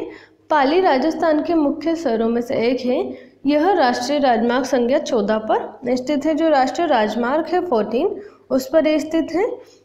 पाली बांदी नदी के दाहिने किनारे पर स्थित नगर है। यहाँ के इतिहास की बात की जाए तो राजस्थान का यह शहर पालीवाल ब्राह्मणों का निवास स्थान था। जब मुगलों ने यहाँ कत्लेआम मचाया तो उन्हें यह शहर छोड़कर जाना पड़ा। वीर योद्धा महाराणा प्रताप का जन्म भी यहीं पर अनेक अपने ननिहाल में हुआ था।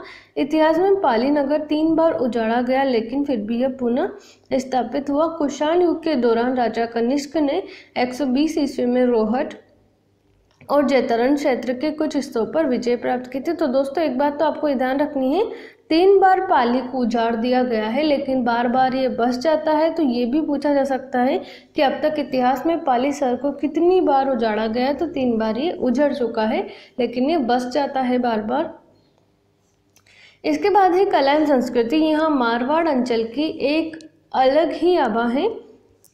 यह राजस्थानी परंपरा एवं संस्कृति की छाप छोड़ने वाला एक संभाग है। पाली में सभी पर्व हर्ष एवं उल्लास के साथ मनाए जाते हैं। शिक्षा की बात की जाए तो यहाँ पर इंजीनियरिंग और अन्य सामान्य कॉलेज हैं। प्राथमिक एवं माध्यमिक शिक्षा है तो सरकारी एवं निजी क्षेत्र की कई स्कूल्स भी यहाँ पर है। खनिज एवं कृषि की बात की जाए तो पाली में सभी प्रकार की कृषि होती है। ज़िले के पश्चिमी भाग में लूनी नदी के जलोर मैदान भी शामिल हैं। प्रमुख स्थल की बात की जाए तो वर्तमान में धोला चौथा नामक स्थान पर पालीवाल समाज के व्यक्तियों ने जने व उनकी पत्नियों के चूड़ों का ढेर लग लग गया था, जिसे धोला चबूतरा नामक स्थान से जाना जाता है। रणकपुर जैन मंदिर एक प्रमुख मंदिर है, जिसमें 400 से अधिक संगमरमर के कम्बे हैं। जवाई बाँध पश्चिमी राजस्थान का सबसे बड़ा बाँध का एक और पाली ज़िले के सुमेरपुर तहसील में स्थित है। जवाई बाँध एक अच्छा पर्यटन स्थल है। परशुराम महादेव मंदिर देशूरी तहसील में है और अरावली की पहाड़ियों में एक के शीर्ष पर स्थित है। नदियों जिलों की बात की जाए तो लूनी जवाई लीलड़ी मिठड़ी, सुकरी व बांडी नदी यहाँ की प्रमुख नदी है। पाली में लगभग 50 बाँध है, जिनमें से जवाई बाँध प्रमुख है। तो ये ध्यान रखना है यहाँ पर लगभग 50 बाँध है और उसका सबसे प्रमुख बाँध जो है, वो है जवाई बाँध। परिवहन और यातायात की बात की जाए तो पाली का मुख्य स्टेशन पाली मारवाड़ है, दिल्ली, अहमदाबाद, अजमेर, जयपुर, जोधपुर से बस सेवा की सुविधा उपलब्ध है। नज़दीकी हवाई अड्डा जोधपुर है। उद्योगों व्यापार की बात की जाए तो मुख्य उद्योगों में सूती कपड़े की रंगाई, छपाई, तांबे का काम आदि प्रमुख है। ज़िले के मुख्य उद्योगों में मेहंदी निर्माण, इकाइयों, कपड़ा रंगाई, छाते, कपास की ओटाई, कृषि उपकरण, सीमेंट आदि प्रमुख है। नागौर ज़िले का। तो स्टार्ट करते हैं इसके महत्वपूर्ण तथ्य। नागौर ज़िले का कुल क्षेत्रफल है सत्रह हज़ार सात सौ अट्ठारह वर्ग किलोमीटर। नागौर ज़िले की जो जनसंख्या है 2011 की जनगणना के अनुसार वो है तैतीस लाख नौ हज़ार दो सौ चौंतीस। नागौर ज़िले का संभागीय मुख्यालय अजमेर में स्थित है। नागौर राजस्थान एक प्रमुख औद्योगिक एवं शैक्षणिक शहर माना जाता है। भौगोलिक स्थिति की बात की जाए तो 25.18 डिग्री नॉर्थ 75.83 डिग्री ईस्ट में है। यह राजस्थान के मध्य भाग में आता है। नागौर, मारवाड़ क्षेत्र में स्थित है। ये जो मारवाड़ क्षेत्र है, उसका भाग है नागौर। इतिहास की बात की जाए तो सन 1534 ईस्वी में गुजरात के शासक बहादुर सादित्य ने नागौर पर थोड़े समय के लिए अधिकार कर लिया था। नागौर बलबन की जागीर थी, जिसे शेरशाह सूरी ने 1542 में छीन लिया था। सम्राट अकबर के समय में नागौर मुगल साम्राज्य का अंग था। 1570 ईस्वी में अकबर ने नागौर में दरबार लगाया था, जिसमें अनेक राजपूत राजाओं ने अकबर से मिलकर उसकी अधीनता स्वीकार कर ली थी। महान मुगल सम्राट अकबर ने यहाँ मस्जिद का निर्माण करवाया था। इस मस्जिद में मोइनुद्दीन चिश्ती के शिष्य की मजार है। जो मोइनुद्दीन चिश्ती के जो शिष्य हैं, उनकी यहाँ पर मजार है। तो यह बात आपको ध्यान रखनी है। इसके बाद आता है कला एवं संस्कृति। यहाँ मारवाड़ अंचल के एक अलग ही आबा है। यह राजस्थानी परंपरा एवं संस्कृति की छाप छोड़ने वाला एक संभाग है। नागौर में सभी पर्व हर्ष एवं उल्लास से मनाए जाते हैं। शिक्षा की बात की जाए तो यहाँ पर इंजीनियरिंग और अन्य सामान्य कॉलेज है। प्राथमिक एवं माध्यमिक शिक्षा है तो सरकारी स्कूल एवं निजी क्षेत्र की कई अच्छी स्कूल्स भी हैं। खनिज एवं कृषि की बात की जाए तो नागौर अन्य फ़सलों के साथ खुशबूदार मेथी के लिए प्रसिद्ध है। नागौर में डेगाना टंगस्टन के उत्पादन के लिए जाना जाता है। नागौर यहाँ पर जो डेगाना क्षेत्र है, वहाँ पर टंगस्टन का उत्पादन होता है। नागौर विशेष रूप में प्रत्येक वर्ष लगने वाले पशु मेले के लिए भी काफ़ी प्रसिद्ध है। इस मेले में हर साल काफ़ी संख्या में पर्यटक आते हैं। सभी प्रकार की कृषि यहाँ पर की जाती है।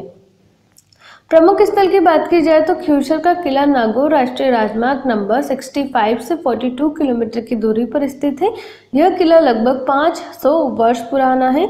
नागौर पशु मेला जनवरी, फरवरी माह में लगता है। इस मेले का आयोजन काफ़ी बड़े स्तर पर किया जाता है। इसके अलावा मेले में रस्सा, कस्सी, ऊँटों की दौड़ और सांड की लड़ाई का आनंद भी उठाया जा सकता है। वीर तेजारी जन्मस्थली खरनाल, राष्ट्रीय राजमार्ग नंबर 65 से 16 किलोमीटर की दूरी पर स्थित है। यहाँ मेला भादवा माह में लगता है। इस मेले का आयोजन काफ़ी बड़े स्तर पर किया जाता है। पुरकी नागौर ज़िले का एक छोटा सा गाँव है। यह स्थान मीराबाई के जन्म स्थान से, के रूप में भी जाना जाता है। वो है कुड़की। इसके बाद आता है हमिद दिउनी हमीदुद्दीन नागौरी मकबरा। काफ़ी प्रसिद्ध मकबरा है। इस जगह पर काजी हमीद उद्दीन नागौरी का स्मारक है। यह एक सूफी संत है। जैन मंदिर मेड़ता रोड की बनावट काफ़ी भव्य है। इस मंदिर में की गई चित्रकारी भगवान महावीर और पार्शनाथ के जन्म से जुड़ी हुई है। नदियों, झीलों की बात की जाए तो लूनी नदी यहाँ की एक प्रसिद्ध नदी है। परिवहन और यातायात की बात की जाए तो नागौर का सबसे बड़ा रेलवे स्टेशन मेड़ता रोड का है। सबसे नज़दीकी रेलवे स्टेशन नागौर में है। भारत की सर्वप्रथम रेल बस सेवा मेरता रोड से शुरू की गई थी। नागौर के लिए सीधी बस सेवा है दिल्ली, अहमदाबाद, अजमेर, आगरा, जयपुर, जैसलमेर और उदयपुर से बस सेवा की सुविधा उपलब्ध है। सबसे नज़दीकी हवाई अड्डा जोधपुर है और यह जगह नागौर से 135 किलोमीटर की दूरी पर स्थित है। उद्योग एवं व्यापार की बात की जाए तो कृषि एवं नमक उत्पादन एक प्रमुख व्यवसाय है तो कोटा ज़िले का। इसके महत्वपूर्ण तथ्य हैं कोटा ज़िले का कुल क्षेत्रफल 12,436 वर्ग किलोमीटर है। कोटा ज़िले की जो जनसंख्या है वो है उन्नीस लाख पचास हज़ार चार सौ इक्यानवे। कोटा ज़िले का संभागीय मुख्यालय कोटा है और कोटा राजस्थान के एक प्रमुख औद्योगिक एवं शैक्षणिक शहर है। कोटा को एजुकेशन हब माना जाता है इंडिया का। इसके बाद आता है भौगोलिक स्थिति। भौगोलिक स्थिति की बात की जाए तो 25.18 डिग्री नॉर्थ से 75.83 डिग्री ईस्ट तक है इसकी। कोटा चंबल नदी के पूर्वी तट पर स्थित है। यह राजस्थान के दक्षिणी भाग में आता है। कोटा हाड़ौती क्षेत्र का एक भाग है। इतिहास की बात की जाए तो प्रारंभ में कोटा बूंदी राज्य का एक हिस्सा था। मुगल शासक जहांगीर ने जब बूंदी के शासकों को पराजित किया था तो बूंदी 1624 ईस्वी में एक स्वतंत्र राज्य के रूप में स्थापित हुआ। 1631 में शाहजहाँ द्वारा राव रतन सिंह के बेटे को कोटा का शासक घोषित कर दिया गया। तब से कोटा स्वतंत्र रूप से कार्य करने लगा। 1818 ईस्वी में कोटा ब्रिटिश साम्राज्य के अधीन हो गया। कला एवं संस्कृति की बात की जाए तो कोटा डोरिया साड़ियों के लिए विशेष रूप से ये फ़ेमस है। यह शहर नवीनता और प्राचीनता का अनूठा मिश्रण है। यह हाड़ौती अंचल की एक अलग ही आभा है। शिक्षा की बात की जाए तो कोटा में मुख्य रूप से तीन विश्वविद्यालय है, Rajasthan technical university, Kota university और वर्धमान महावीर ओपन यूनिवर्सिटी। यहाँ पर विभिन्न इंजीनियरिंग, मेडिकल और अन्य सामान्य कॉलेज भी हैं। प्राथमिक एवं माध्यमिक शिक्षा हेतु तो सरकारी स्कूल, मिलिट्री स्कूल एवं निजी क्षेत्र की कई अच्छी स्कूल्स भी हैं। कृषि एवं खनिज की बात की जाए तो सभी प्रकार की कृषि होती है। यहाँ पर cotton, textile, chemical, power plant आदि कई उद्योग धंधे भी उपलब्ध है। प्रमुख स्थल की बात की जाए तो सिटी फोर्ट पैलेस, चंबल नदी के पूर्वी तट पर सत्रहवीं शताब्दी में बना यह किला कोटा का मुख्य आकर्षण है। सत्रहवीं शताब्दी में बना हाथी पोल किले में प्रवेश का खूबसूरत प्रवेश द्वार है। किले के बुर्ज, बालकनी गुंबद परकोटे बेहद आकर्षक है। राव माधव सिंह संग्रहालय पुराने महल में स्थित है और इसे राजस्थान के सबसे बेहतरीन संग्रहालयों में माना जाता है। जग मंदिर महल कोटा की एक रानी द्वारा 1740 ईस्वी में बनवाया गया था। खूबसूरत किशोर सागर झील के मध्य बना यह महल राजाओं के आमोद प्रमोद का साधन था। चंबल गार्डन। यह एक खूबसूरत पिकनिक स्पॉट है और यहाँ मगरमच्छों का तालाब देखा जा सकता है। दरा राष्ट्रीय उद्यान या राष्ट्रीय चंबल वन्य जीव अभ्यारण्य। भारत के राजस्थान राज्य में कोटा से 50 किलोमीटर दूर है जो घड़ियालों, पतले मुँह वाले मगरमच्छ के लिए बहुत लोकप्रिय है। श्री केशव राय जी हाड़ौती और हाड़ा के शासकों के इष्ट देव हैं। केशव राय पाटन भगवान श्री केशव का निवास स्थल है। श्री केशव मध्यकालीन मंदिर चंबल नदी के किनारे पर स्थित है। इसके बाद आता है नदियम झील है। चंबल यहाँ की एक प्रमुख नदी है। किशोर सागर झील बूंदी के राजकुमार घी देह ने 1346 ईस्वी में बनवाई थी। झील में नौकायन का आनंद भी लिया जा सकता है। परिवहन और यातायात की बात की जाए तो कोटा जंक्शन, दिल्ली, जयपुर, मुंबई के साथ देश के प्रमुख शहरों से जुड़ा हुआ है। जयपुर में राष्ट्रीय राजमार्ग 12 से टोंक, देवली और बूंदी होते हुए कोटा पहुँचा जा सकता है। मुंबई से भारतीय राष्ट्रीय राजमार्ग एट और 76 से चित्तौड़गढ़ भातेश्वर, भदोरा, बिचौर, बिजोलिया होते हुए कोटा पहुँचा जा सकता है। नज़दीकी एयरपोर्ट जयपुर का सांगानेर विमान क्षेत्र है, जो कोटा से 240 किलोमीटर दूर है। वैसे कोटा भी, में भी हवाई अड्डा है, किंतु वहाँ हाल में कोई उड़ानें उपलब्ध नहीं है। इसके बाद है उद्योग एवं व्यापार। कोटा एक प्रमुख व्यापारिक केंद्र है, साथ ही एक औद्योगिक नगरी भी है। यहाँ cotton textile, chemical power plants आदि कई उद्योग धंधे उपलब्ध है, जैसे DCM Semtel, Birla cement Shri Ram fertilizer आदि। इसे राजस्थान का पावर हाउस भी कहते हैं। यह सर कोटा साड़ी के लिए विशेष रूप से फ़ेमस है। कोटा में यहाँ पर स्थित कोचिंग संस्थानों के कारण शैक्षणिक नगरी का नाम मिला है। इंजीनियरिंग और मेडिकल की परीक्षाओं में यहाँ के छात्रों को जितनी सफलता मिलती रही है, उतनी की कल्पना भी दूसरे शहर नहीं कर सकते। कोटा की विशेष सूती साड़ियाँ प्रसिद्ध हैं। करौली ज़िले का। तो जानते हैं करौली ज़िले के बारे में? सबसे पहले आता है अपना महत्वपूर्ण तथ्य, जो करौली जिला है, वहाँ का कुल क्षेत्रफल है पाँच हज़ार पाँच सौ तीस वर्ग किलोमीटर। करौली ज़िले की जनसंख्या है 2011 के जनगणना के अनुसार चौदह लाख अट्ठावन हज़ार चार सौ उनसठ। करौली ज़िले का जो संभागीय मुख्यालय है, वो है भरतपुर में। और इसके बाद आता है करौली जिला 19 जुलाई 1997 को सवाई माधोपुर ज़िले से अलग होकर अस्तित्व में आया था। तो जो करौली जिला है, उसका अस्तित्व में आने का जो डेट है, वो है नाइनटीन ऑफ़ जुलाई 1997 में बना था ये। सवाई माधोपुर से अलग होकर। भौगोलिक स्थिति है यहाँ की 26.5 degree north 77.02 degree east. Karauli कस्बा चारों तरफ़ से लाल पत्थर से निर्मित है, जिसकी परिधि 3.7 किमी है, जिसमें दरवाजे छः और खिड़कियाँ हैं 12 इसके अपने ऐतिहासिक किलों और मंदिरों के लिए मशहूर करौली दर्शनीय स्थल है। इसको भद्रावती नदी के किनारे होने के कारण भद्रावती नगरी भी कहा जाता है। इतिहास की बात की जाए तो इसकी स्थापना नाइन हंड्रेड फिफ्टी फाइव ईस्वी में राजा विजय पाल ने की थी, जिनके बारे में कहा जाता है कि वे भगवान कृष्ण के वंशज हैं। इनका मूलतः नाम कल्याणपुरी था, जो कल्याण जी के मंदिर के कारण प्रसिद्ध था। 1818 में करौली राजपूताना एजेंसी का हिस्सा बना। 1947 में भारत की आज़ादी के बाद यहाँ के शासक महाराज गणेश पाल देव ने भारत का हिस्सा बनने का निश्चय किया, सात अप्रैल 1949 में करौली भारत में शामिल हुआ और राजस्थान राज्य का हिस्सा बना।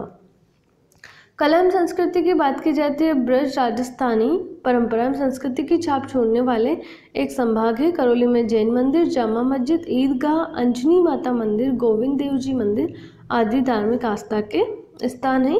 शिक्षा की बात की जाए तो प्राथमिक एवं माध्यमिक शिक्षा हेतु तो सरकारी स्कूल मिलिट्री स्कूल एवं निजी क्षेत्र के कई अच्छे स्कूल हैं। करौली में तकनीकी शिक्षा के लिए डिप्लोमा, कॉलेज भी हैं। खनिज एवं कृषि की बात की जाए तो सभी प्रकार की कृषि यहाँ पर की जाती है।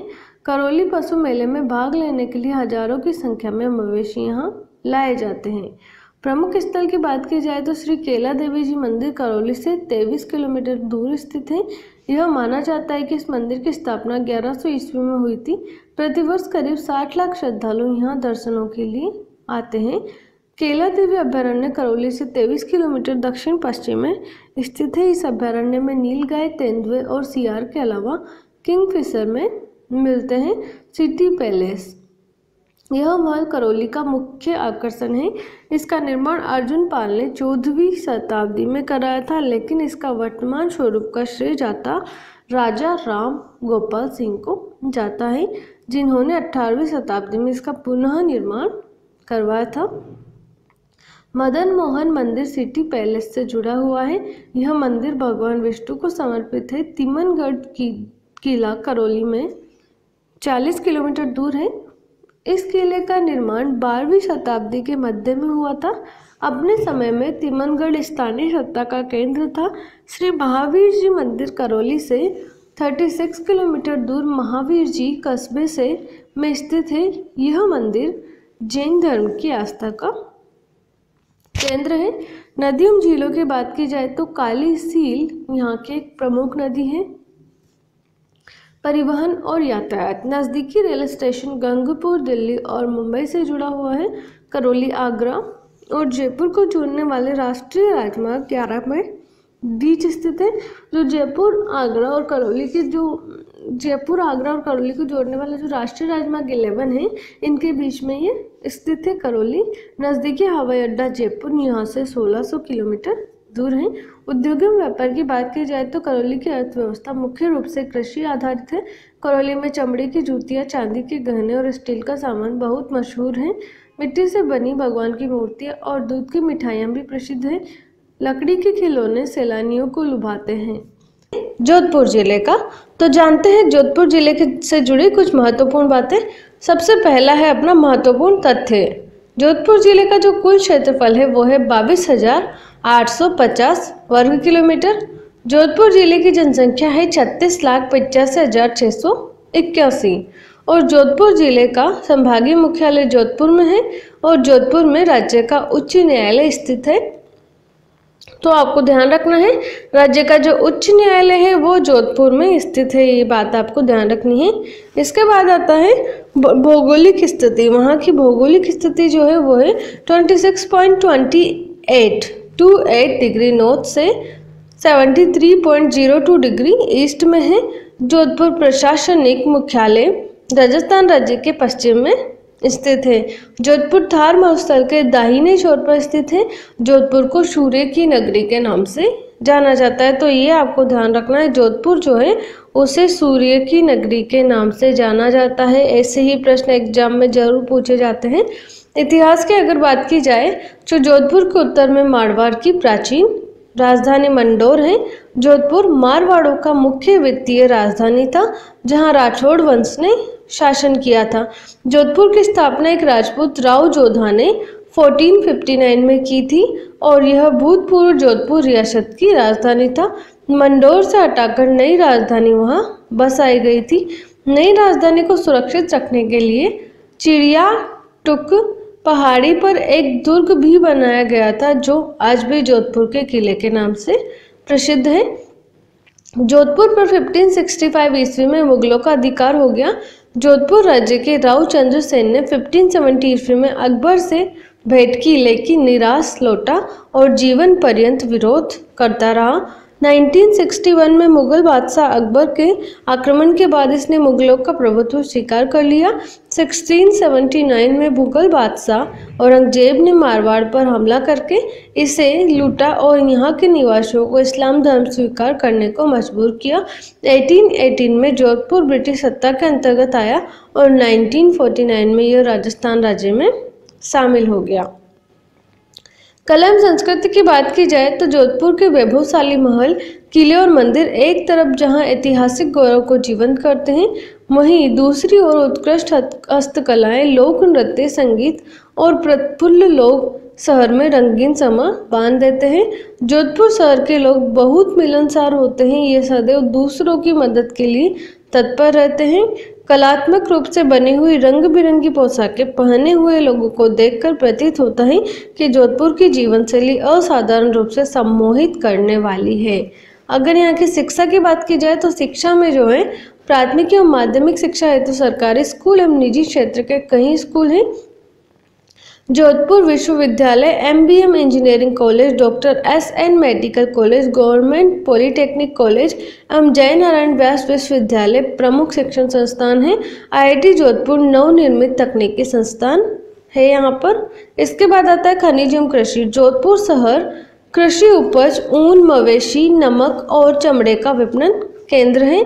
ये चमड़े का इन सबका विपणन केंद्र है तो आपको ध्यान रखना है, ऐसे भी पूछा जा सकता है कि इनमें से किस चीज़ का विपणन जोधपुर से नहीं होता है।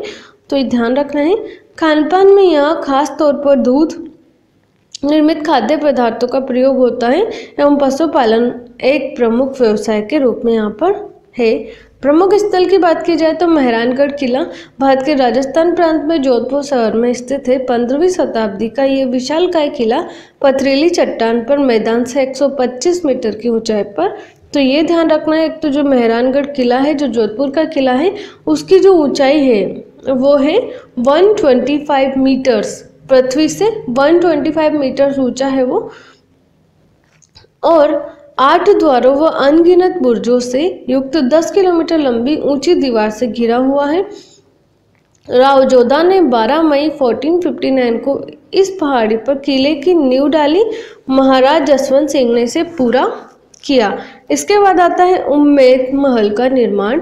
सन 1943 में किया गया था। मार्बल और बालू का पत्थर से इसे इस महल का दृश्य पर्यटकों को खास तौर पर लुभाता है।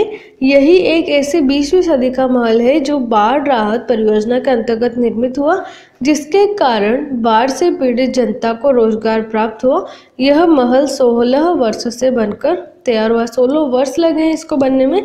तो एक तो ये आपको ध्यान रखना है कि उम्मेद महल को बनने में कितना टाइम लगा। तो 16 वर्ष लगे हैं और एक प्रश्न ऐसे भी बन सकता है कि बीसवीं सदी का ऐसा कौन सा महल है जो बाढ़ राहत परियोजना के अंतर्गत बनाया गया था? तो वो महल है उम्मेद महल 1943 में निर्माण किया गया था इसका।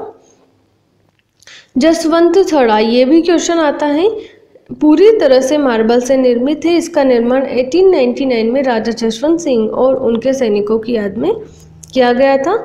राजकीय संग्रहालय में चित्रों, मूर्तियों व प्राचीन हथियारों का उत्कर्ष समावेश है। मंडोर गार्डन शहर में आठ किलोमीटर की दूरी पर है मारवाड़ की प्राचीन राजधानी। में जोधपुर के शासकों के जयपुर, जोधपुर के शासकों के स्मारक हैं। हॉल ऑफ़ हीरो में चट्टान से दीवार में तरासी हुई पंद्रह आकृतियाँ हैं जो हिंदू देवी देवताओं का प्रतिनिधित्व करती हैं। महामंदिर का निर्माण ईस्वी सन 1812 में हुआ था। यह अपने 24 नक्काशीदार खंभों के कारण असाधारण है। ओशियो जोधपुर बीकानेर राजमार्ग की दूसरी दिशा पर रेगिस्तान में यह मरुद्यान स्थित है। इस प्राचीन नगर क्षेत्र की यात्रा के दौरान बीच बीच में पड़ते हुए रेगिस्तानी विस्तार वो छोटे छोटे गाँव अतीत के लहराते हुए भूभागों में ले जाते हैं। ओशिया में सुंदर तरासे हुए जैन व ब्राह्मणों के मंदिर हैं। बाल समन झील जोधपुर से पाँच किलोमीटर दूर है। इस सुंदर झील का निर्माण ईस्वी सन 1159 में हुआ था। झील के किनारे खड़ा भव्य ग्रीष्मकालीन महल खूबसूरत बगीचों से घिरा हुआ है। भ्रमण करने के लिए यह एक रमणीय स्थल है। कायलाना झील एक खूबसूरत झील है। एवं आदर्श पिकनिक स्थल है। यहाँ नौकियाना सब सुविधा उपलब्ध है। मारवाड़ उत्सव कागा में शीतला माता का उत्सव और पीपर का गंगवार मेला जैसे अनेक मेले यहाँ के प्रसिद्ध हैं। पंद्रहवीं सदी में निर्मित किला और महले यहाँ आने वाले पर्यटकों के लिए आकर्षण का प्रमुख केंद्र रहा है। जोधपुर में कुछ प्रमुख उत्सव है जो बड़े ही धूमधाम से मनाए जाते हैं। अब इसके बाद आता है नदी एवं झीलें। बालसमंद झील जोधपुर में पाँच किलोमीटर दूर है। इस सुंदर झील का निर्माण ईस्वी सन 1159 में हुआ था। झील के किनारे खड़ा भव्य ग्रीष्मकालीन महल खूबसूरत बगीचों से घिरा हुआ है। भ्रमण करने के लिए एक रमणीय स्थल है। कालायना झील एक खूबसूरत झील है एवं आदर्श पिकनिक स्थल है। यहाँ नौकियाना सुविधा उपलब्ध है। परिवहन और यातायात की बात की जाए तो जोधपुर रेलवे स्टेशन पर उत्तरी पश्चिमी रेलवे का संभागीय मुख्यालय है। यह दिल्ली, मुंबई, अजमेर, जयपुर, गुवाहाटी, नागपुर जैसे प्रमुख शहरों से जुड़ा है। जोधपुर रोड मार्ग से दिल्ली, अहमदाबाद, अजमेर एवं अन्य शहरों से जुड़ा है। जोधपुर हवाई अड्डे राजस्थान के प्रमुख हवाई अड्डों में से एक है। उद्योग एवं व्यापार की बात की जाए तो यहाँ इंजीनियरिंग और रेल की कार्यशालाएँ हैं। व साथ ही सूती वस्त्र, पीतल तथा लोहे के बर्तन, साइकिल, स्याही और पोलो के उपकरणों का निर्माण होता है। जोधपुर अपने हस्तशिल्प उत्पादों के लिए प्रख्यात है, जिसमें हाथी दांत का सामान, कांच की चूड़िया, छुरी, काटा, रंगे हुए वस्त्र, लाख की वस्तुएँ, नमदे, चमड़े का सामान, संगमरमर के पत्थर का काम और कालीनों की बुनाई प्रमुख है। झुंझुनू ज़िले का तो सबसे पहले आता है अपना महत्वपूर्ण तथ्य। तो झुंझुनू ज़िले का जो कुल क्षेत्रफल है, वो है पाँच हज़ार नौ सौ अट्ठाईस वर्ग किलोमीटर। झुंझुनू ज़िले की जो जनसंख्या है, वो है इक्कीस लाख उनतालीस हज़ार छः सौ अट्ठावन। और झुंझुनू ज़िले का जो संभागीय मुख्यालय है, वो है जयपुर में। अब भौगोलिक स्थिति की वहाँ की बात की जाए तो यहाँ की भौगोलिक स्थिति 28.8313 डिग्री नॉर्थ से 75.4 डिग्री ईस्ट तक है। झुंझुनू शेखावाटी राजस्थान का सबसे बड़ा शहर है और जिला मुख्यालय। तो ये बात आपको ध्यान रखनी है। ये जो है शेखावाटी जो राजस्थान है, इस राजस्थान का सबसे बड़ा शहर है। आपको ध्यान रखना है। इतिहास झुंझुनू शहर, जुझार सिंह नेहरा के नाम पर सन 1730 में बसाया गया था। नेहरा लोगों को, के प्रसिद्ध सरदार जुझार सिंह नेहरा का जन्म संवत 1721 ईस्वी में विक्रम श्रावण महीने में हुआ था। इनके पिता नवाब के यहाँ फौज के सरदार यानी फौजदार थे। उनकी हार्दिक इच्छा थी कि नवाब शाही के खिलाफ जाट लोग मिलकर बगावत करे सरदार जुजार सिंह शार्दुल सिंह ने नवाब शाही को समाप्त किया, लेकिन उन्हें तिलक करने के बाद विश्वासघात कर मार डाला गया। कला एवं संस्कृति की वहाँ की बात की जाए तो राजस्थानी परंपरा संस्कृति की छाप छोड़ने वाले एक संभाग है। सेना में जाने वाले मातृभूमि के लिए शहीद होने का जज्बा जैसा यहाँ दिखाई देता है, शायद ही कहीं पर दिखाई दे, यहाँ की हवेलियाँ उन पर की गई। फ्रेस्को पेंटिंग प्रसिद्ध है।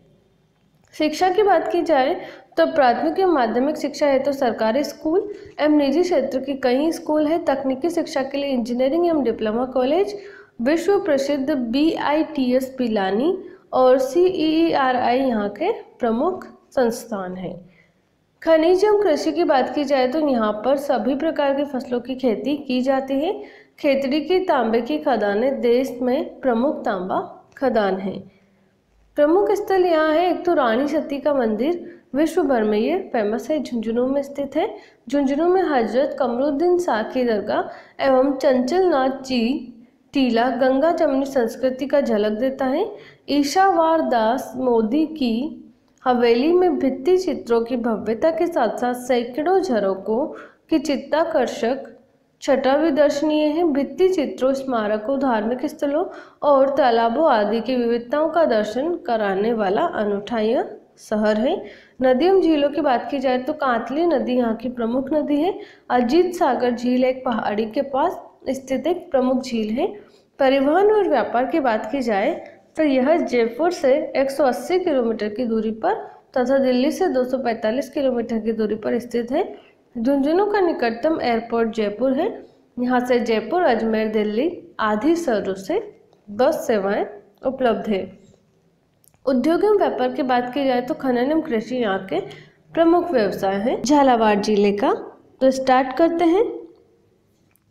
महत्वपूर्ण तथ्य। अब जो महत्वपूर्ण तथ्य हैं, उनमें आता है अपना झालावाड़ ज़िले का कुल क्षेत्रफल। तो वहाँ का कुल क्षेत्रफल है सिक्स टू वन नाइन वर्ग किलोमीटर मतलब छः हज़ार दो सौ उन्नीस वर्ग किलोमीटर। झालावाड़ ज़िले की जनसंख्या जो है, वो है चौदह लाख ग्यारह हज़ार तीन सौ सत्ताईस। और झालावाड़ ज़िले का जो संभागीय मुख्यालय है, वो स्थित है कोटा में। यहाँ की भौगोलिक स्थिति की अगर बात की जाए तो वो है twenty four point five nine degree north से seventy six point one six degree east में। झालावाड़ राजस्थान के दक्षिण पूर्व में स्थित एक जिला है। इसके दक्षिण भाग में पहाड़ियाँ तथा मैदान हैं। यह मालवा के पठार के एक छोर पर बसा जनपद है। झालावाड़ हाड़ौती क्षेत्र का एक हिस्सा है। अगर यहाँ के इतिहास की बात की जाए तो झालावाड़ में सोनगरा चौहानों ने परमारों से झालावाड़ को छीनकर अपनी राजधानी बनाया था। जो सोनगरा चौहान थे, उन्होंने परमाणु से झालावाड़ को छीना और अपनी राजधानी बनाया। चौदहवीं शताब्दी के प्रारंभ में यहाँ का शासक कान्हर देव था, जो एक शक्तिशाली चौहान शासक था। सन thirteen five thirteen hundred and five ईस्वी में कान्हड़ देव ने तुर्की आक्रमण को विफल बनाया था। ऐसी मान्यता है कि तुर्की, तुर्कों से कान्हड़ देव का कई वर्षों तक संघर्ष चलता रहा और अंत में इसी संघर्ष में कान्हड़ देव मारा मारा गया। इस प्रकार झालावाड़ पर खिलजी का अधिकार हो गया। कान्हड़ देव की वीरता की गाथाएँ आज भी मारवाड़ के लोक जीवन में प्रतिध्वनित होती हैं। कला संस्कृति की बात की जाए तो मालवी और हड़ भाषाएँ यहाँ प्रचलित हैं। यह राजस्थानी परंपरा एवं संस्कृति की छाप छोड़ने वाले एक संभाग में आता है। राजस्थान की कला और संस्कृति को संजोए यह शहर अपने खूबसूरत सरोवरों, किलों और मंदिरों के लिए जाना जाता है। पुरातत्व की दृष्टि से महत्वपूर्ण झालरा पाटन के पास, चंद्रावती नगर तथा खौली गाँव के पास पत्थर के स्तूप यहाँ पर प्रमुख है। शिक्षा की बात की जाए तो प्राथमिक एवं माध्यमिक शिक्षा है तो सरकारी स्कूल एवं निजी क्षेत्र के कई स्कूल हैं। तकनीकी शिक्षा के लिए इंजीनियरिंग एवं डिप्लोमा कॉलेज भी यहाँ मिलते हैं। कृषि एवं खनिज तो यहाँ सभी प्रकार की फ़सलों की खेती की जाती है। प्रमुख स्थल। यहाँ के प्रमुख स्थल है गढ़ महल झाला वंश के राजाओं का भव्य महल। शहर के मध्य स्थित इस महल के तीन कलात्मक द्वार है। गागरन किला, यह जो है काली सीन नदी और आहू नदी के संगम पर स्थित गागरन फोर्ट झालावाड़ की एक ऐतिहासिक धरोहर है। सूर्य मंदिर झालावाड़ का दूसरा जुड़वा शहर झालरा पाटन को घाटियों का शहर भी कहा जाता है। शहर में स्थित सूर्य मंदिर झालरा पाटन का एक प्रमुख दर्शनीय स्थल है। झालावाड़ और झालरा पाटन शहर के बाहर जैन धर्म व बौद्ध धर्म से जुड़े मंदिर भी पर्यटकों को खूब लुभाते हैं। इसमें चाँद खेड़ी का दिगंबर जैन मंदिर और कोलवी स्थित बौद्ध धर्म के दीनयान मत की गुफाएँ काफ़ी प्रसिद्ध हैं।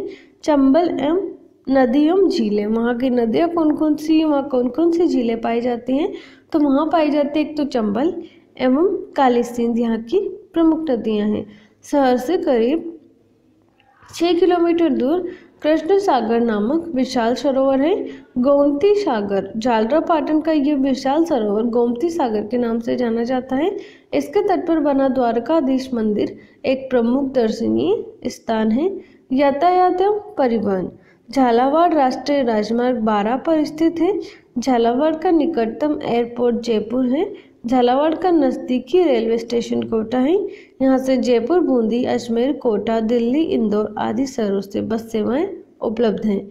यहाँ के उद्योग व्यापार की बात की जाए तो सूती कपड़े बुनना, फारसी दरी बुनना और चाकू, तलवार आदि हरबे हथियार बनाना यहाँ के प्रमुख उद्योग है। जैसलमेर ज़िले का तो स्टार्ट करते हैं।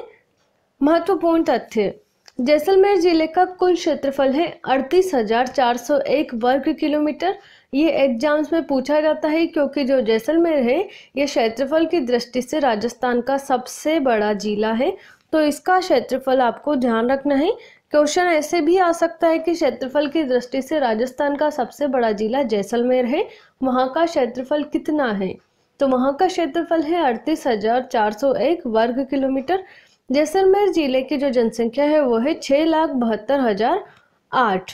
और जैसलमेर ज़िले का संभागीय मुख्यालय स्थित है जोधपुर में।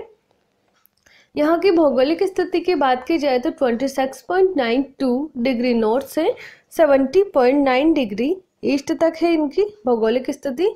जैसलमेर का क्षेत्र थार के रेगिस्तान में स्थित है। यहाँ दूर दूर तक स्थायी व स्थायी रेत के ऊँचे ऊँचे टीले हैं जो कि हवा आंधियों के साथ साथ अपना स्थान भी बदलते रहते हैं। थार के रेगिस्तान में स्थित है, जिसके कारण यहाँ पर रेत के टीले पाए जाते हैं।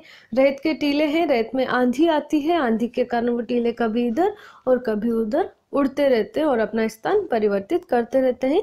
इन्हीं रेतीले टीलों के मध्य कहीं कहीं पर पथरीले पठार व पहाड़ियाँ भी स्थित है। जैसलमेर का संपूर्ण भाग रेतीला व पथरीला होने के कारण यहाँ का तापमान मई जून में अधिकतम 47 डिग्री सेंटीग्रेड तथा दिसंबर जनवरी में न्यूनतम 5 डिग्री सेंटीग्रेड पहुँच जाता है।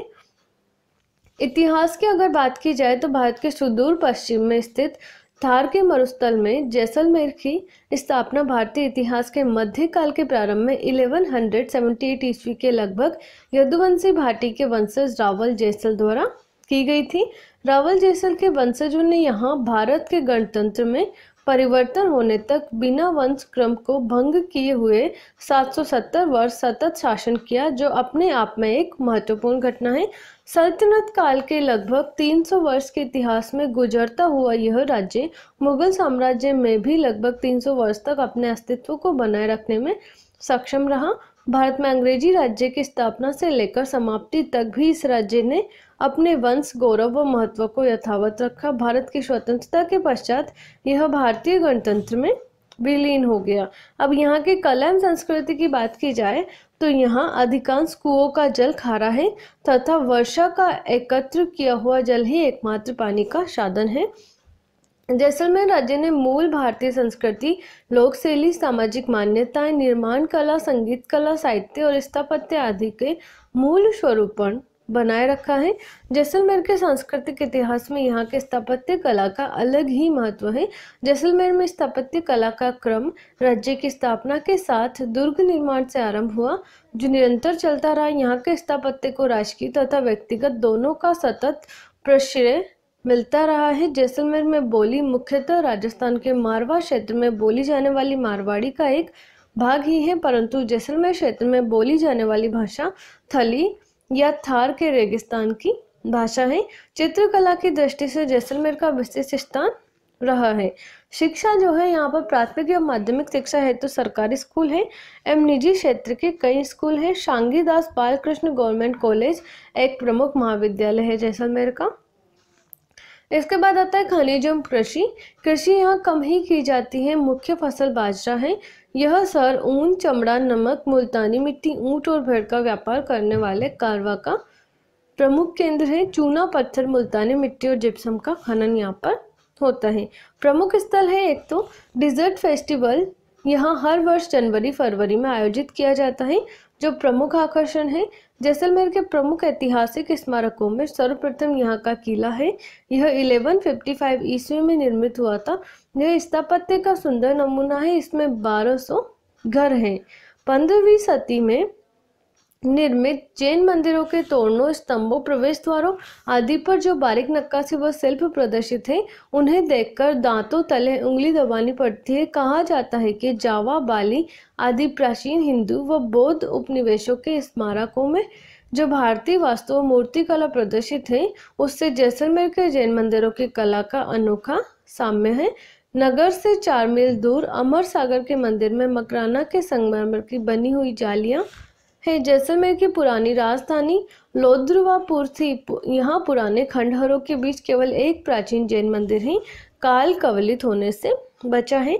नदियों, झीलों की बात की जाए तो कातली यहाँ की एक छोटी नदी है गड़ीसर झील, जिसे रावल गढ़सी सिंह ने 1367 में खुदाया था। एक छोटे मंदिरों और धार्मिक स्थलों से घिरी हुई एक सुंदर झील है। परिवहन और यातायात जो है, जैसलमेर रेल मार्ग द्वारा जोधपुर से जुड़ा हुआ है। यहाँ रेल व सड़क द्वारा दो प्रकार के यातायात के साधन उपलब्ध है। उद्योग एवं व्यापार, यहाँ पर्यटन जैसलमेर में एक प्रमुख उद्योग है। भारत सरकार ने जैसलमेर क्षेत्र में 1955 से 1956 के बीच में तेल के लिए विभागीय अन्वेषण शुरू की। ऑयल इंडिया लिमिटेड ने जैसलमेर बेसिन में 1988 में प्राकृतिक गैस की खोज की। जैसलमेर क्षेत्र में हस्तशिल्प व चमड़े के बैग प्रसिद्ध है। जैसलमेर ज़िले में दूर दराज गाँव में ग्रामीण महिलाओं द्वारा कपड़े पर कसीदाकारी का कार्य बड़ी बारीकी से किया जाता है। जयपुर ज़िले का, जो अपने राजस्थान की राजधानी भी है, जिसे पिंक सिटी भी कहा जाता है और जयपुर का एक अपना अलग इतिहास है। तो इसी के बारे में जानकारी लेंगे और जयपुर से अक्सर एग्ज़ाम में क्वेश्चन बनते ही है। इसकी जानकारी आप सभी को है। तो स्टार्ट करते हैं। सबसे पहला आता है अपना जयपुर महत्वपूर्ण तथ्य। अब जयपुर ज़िले का कुल क्षेत्रफल एग्ज़ाम में पूछा जा चुका है और फिर आ सकता है तो आपको ध्यान रखना है। जयपुर ज़िले का जो कुल क्षेत्रफल है, वो है चौदह हज़ार अड़सठ वर्ग किलोमीटर। जयपुर ज़िले की जो जनसंख्या है, वो है छाछठ लाख तिरसठ हज़ार नौ सौ इकहत्तर। जयपुर ज़िले का संभागीय मुख्यालय जयपुर ही है। जयपुर, जिसे गुलाबी नगर के नाम से भी जाना जाता है, भारत में राजस्थान राज्य की राजधानी है। आमेर के तौर पर यह जयपुर नाम से प्रसिद्ध प्राचीन रजवाड़े की भी राजधानी रहा है। जो प्राचीन रजवाड़ा था, उसकी राजधानी भी जयपुर ही रहा है। जयपुर अपनी समृद्ध भवन निर्माण परंपरा सरस संस्कृति और ऐतिहासिक महत्व के लिए प्रसिद्ध है। 1876 में तत्कालीन महाराज सवाई राम सिंह ने इंग्लैंड की महारानी एलिजाबेथ, प्रिंस ऑफ़ वेल्स, युवराज अल्बर्ट के स्वागत में पूरे शहर को गुलाबी रंग से आच्छादित करवा दिया था। तभी से शहर का नाम गुलाबी नगर या पिंक सिटी के नाम से इसको जाना जाने लगा है। अब यहाँ की भौगोलिक स्थिति की अगर चर्चा करें या बात की जाए तो यहाँ की भौगोलिक स्थिति है, उत्तर में तो है 26 डिग्री 26.92 डिग्री और पूर्व में है पिचहत्तर पॉइंट आठ दो डिग्री। जयपुर सूखी झील के मैदान में बसा है। इसके तीन और पहाड़ियों की चोटी पर पुराने किले हैं। इसके तीनों और पहाड़ियाँ हैं और पहाड़ियों की चोटी पर इसके पुराने किले हैं। यह बड़ा सुनियोजित नगर है। बाज़ार सब सीधी सड़कों के दोनों ओर है और इनके भवनों का निर्माण भी एक ही आकार प्रकार का है। अब यहाँ के इतिहास की अगर बात की जाए तो जयपुर का जो राजस्थान का एक नगर है, ये एक पुरानी विरासत, रियासत के रूप में था। जयपुर शहर भूतपूर्व जयपुर रियासत की राजधानी था। जयपुर शहर की स्थापना 1728 में आमेर के महाराजा जयसिंह द्वितीय ने की और इसी से इसका नाम जयपुर पड़ा। 18वीं शताब्दी ने मुगलों के पतन के साथ ही जयपुर और जोधपुर की रियासतों में बार बार लड़ाइयाँ होती रही। सन 1818 ईस्वी में एक संधि हुई, जिसने ब्रिटेन वर्चस्व की स्थापना की और रियासत में ब्रिटिश सेना पुनर्व्यवस्था ले आई। स्वाधीनता के उपरांत जयपुर रियासत भारत में विलीन हो गई। पुराना जयपुर थोड़े उठे हुए मैदान पर स्थित है और पाँच द्वारों के साथ साथ सात किलोमीटर लंबी पंक्तिबद्ध दीवार से घिरा हुआ है जयपुर के आधुनिक शहरी योजनाकारों द्वारा सबसे नियोजित और व्यवस्थित शहरों में गिना जाता है। देश के सबसे प्रतिभाशाली वास्तुकारों में इस शहर के वास्तुकार विद्याधर चक्रवर्ती का नाम सम्मान से लिया जाता है। ये जो वास्तुकार थे ये प्रसिद्ध वास्तुकारों में माने जाते हैं, प्रतिभाशाली वास्तुकार है और इनका नाम है विद्याधर चक्रवर्ती। ये आपको ध्यान रखना है, जयपुर का जो सुनियोजित निर्माण किया गया, ये इन्हीं के देन है। एग्ज़ाम में प्रश्न आ जाए तो आपको विद्याधर चक्रवर्ती का नाम ध्यान रखना है। कला एवं संस्कृति की अगर बात की जाए तो यह राजस्थानी परंपरा संस्कृति की छाप छोड़ने वाला एक संभाग है। राजस्थानी चित्रकला के एक प्रभावी शैली का जन्म जयपुर से हुआ, जो राजस्थान का दूसरा बड़ा राज्य था। हिंदू एवं जैन धर्म को मानने वाले लोग की संख्या सबसे अधिक है। सिख और इस्लाम धर्म को मानने वाले भी अच्छी संख्या में है। यह ईसाई और पारसी पारसी जो धर्म है, ईसाई और पारसी, इसके अनुयायियाँ कम पाए जाते हैं। अब शिक्षा की अगर बात करें तो जयपुर में राजस्थान विश्वविद्यालय स्थित है, जो एक प्रमुख उच्च शिक्षा संस्थान है। इसके अलावा वोकेशनल कोर्सेज और डिग्री कोर्सेज भी यहाँ है। जयपुर में तकनीकी शिक्षा के लिए एक Malaviya N I T sixty से अधिक इंजीनियरिंग संस्थान डिप्लोमा कॉलेज एवं अन्य निजी संस्थान है महाराजा महारानी कॉलेज यहाँ के प्रसिद्ध संस्थान है। सवाई मानसिंह एक प्रमुख मेडिकल कॉलेज एवं हॉस्पिटल है।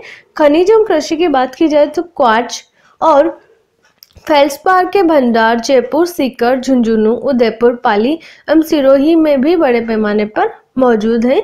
जयपुर के निकट राजावास गाँव में एलपीजी के लिए विश्व की सबसे लंबी पाइपलाइन लगाई जा रही है। तो ये भी आपको ध्यान रखना है, राजावास में लगाई जा रही है। दो है, इसके बड़े भंडार जयपुर ज़िले के मोरिजा बनोल चेमू और रामपुरा में है। काला डेरा जयपुर में ग्रेनाइट का उत्पादन होता है। राजस्थान में जेम जेमस्टोन औद्योगिक पार्क जयपुर में स्थित है और राजस्थान में सर्वाधिक औद्योगिक इकाइयाँ जयपुर ज़िले में ही स्थित है तो ये भी ध्यान रखना है।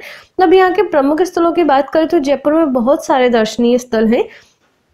तो उसके बारे में जानते हैं और यहाँ पर जो पर्यटन है, वो भी काफ़ी अच्छा है। जयपुर शहर में बहुत से पर्यटन आकर्षण हैं, जैसे जंतर मंतर, जयपुर हवा महल सिटी पैलेस, गोविंद देव जी का मंदिर, बीएम बिरला तारा मंडल आमेर का किला, जयगढ़ दुर्ग आदि। जयपुर के रौनक भरे बाजारों में दुकानें रंग बिरंगे सामानों से भरी है, जिनमें हथकरघा उत्पाद, बहुमूल्य पत्थर, हस्तकला से युक्त वनस्पति रंगों से बने वस्त्र मीनाकारी आभूषण, पीतल का सजावटी सामान, राजस्थानी चित्रकला के नमूने, नागरा मोजरी जूतियाँ, ब्लू पोट्री हाथी दांत के हस्तशिल्प और सफ़ेद संगमरमर की मूर्तियाँ वहाँ पर मिलती है। जयपुर की ये विशेषता है।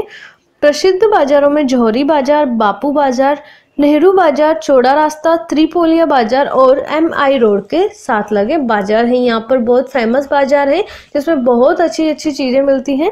इसके बाद आता है नदियों झीलें। जयपुर में जल महल गलता, रामगढ़ बाँध, चंदलाई सांभर, छापरवाड़ा प्रमुख बाँध झीलें हैं और यहाँ के जो नदियाँ हैं, वो है बाणगंगा, बांडी, मोरल और मासी। परिवहन और यातायात की बात करें तो जयपुर शहर, अजमेर, दिल्ली और अन्य शहरों से रेल मार्ग और सड़क मार्ग द्वारा जुड़ा हुआ है। जयपुर में एक अंतर्राष्ट्रीय हवाई अड्डा है। उद्योग और व्यापार की बात की जाए तो जयपुर वाणिज्यिक व्यापार केंद्र है। यहाँ के उद्योगों में इंजीनियरिंग और धातु कर्म, हथकरघा बुनाई, आसवन व सीसा, होजरी, कालीन, कंबल, जूतों और दवाइयों का निर्माण प्रमुख है। जयपुर के विख्यात कला एवं हस्तशिल्प में आभूषणों की मीनाकारी धातु कर्म छापे वाले वस्त्र के साथ साथ पत्थर, संगमरमर व हाथी पर नक्काशी शामिल है।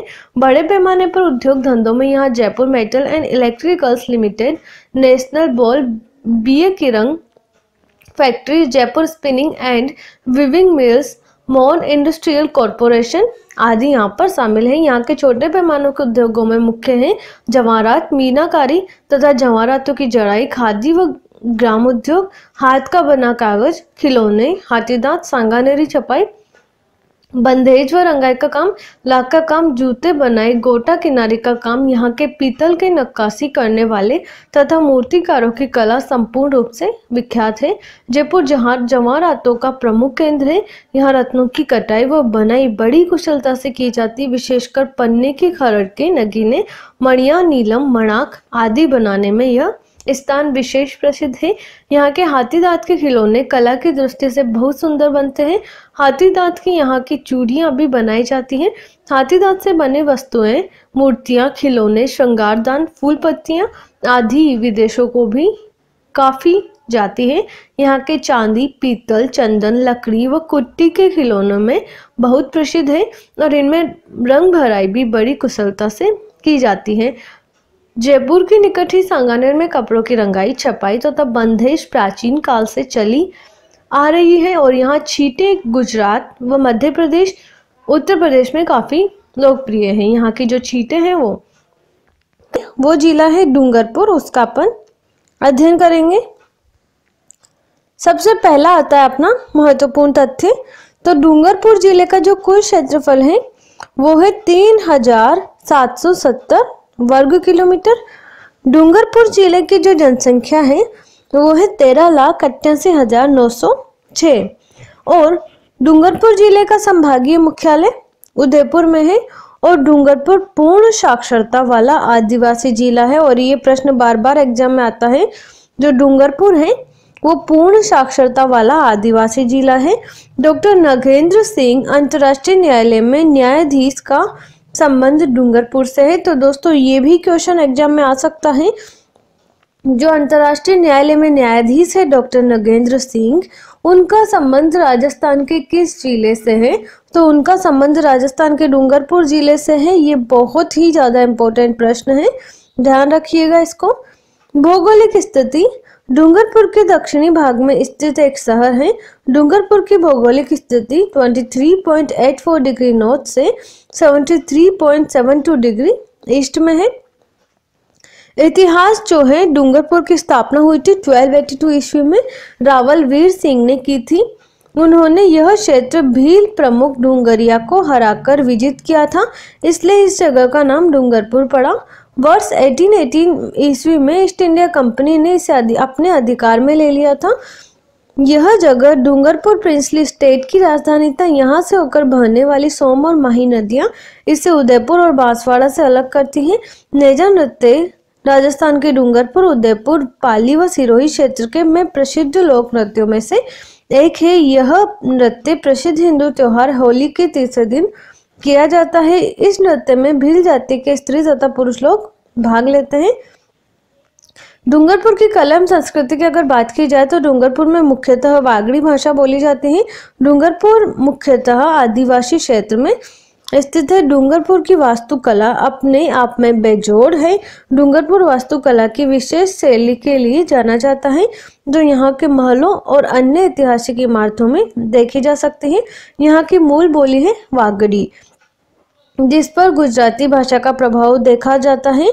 और दोस्तों, यही क्वेश्चन एग्ज़ाम में आया था कि वो कौन सी बोली है जिसमें गुजराती भाषा का प्रभाव है? तो वो बोली है वागड़ी। और ऐसे भी क्वेश्चन पूछा जा सकता है कि जो गुजराती भाषा का प्रभाव वाली बोली है, वो कौन सी है? या ऐसे भी पूछा जा सकता है कि जो वागड़ी बोली है, उस पर कौन सी भाषा का प्रभाव है? तो इस पर गुजराती भाषा का प्रभाव है।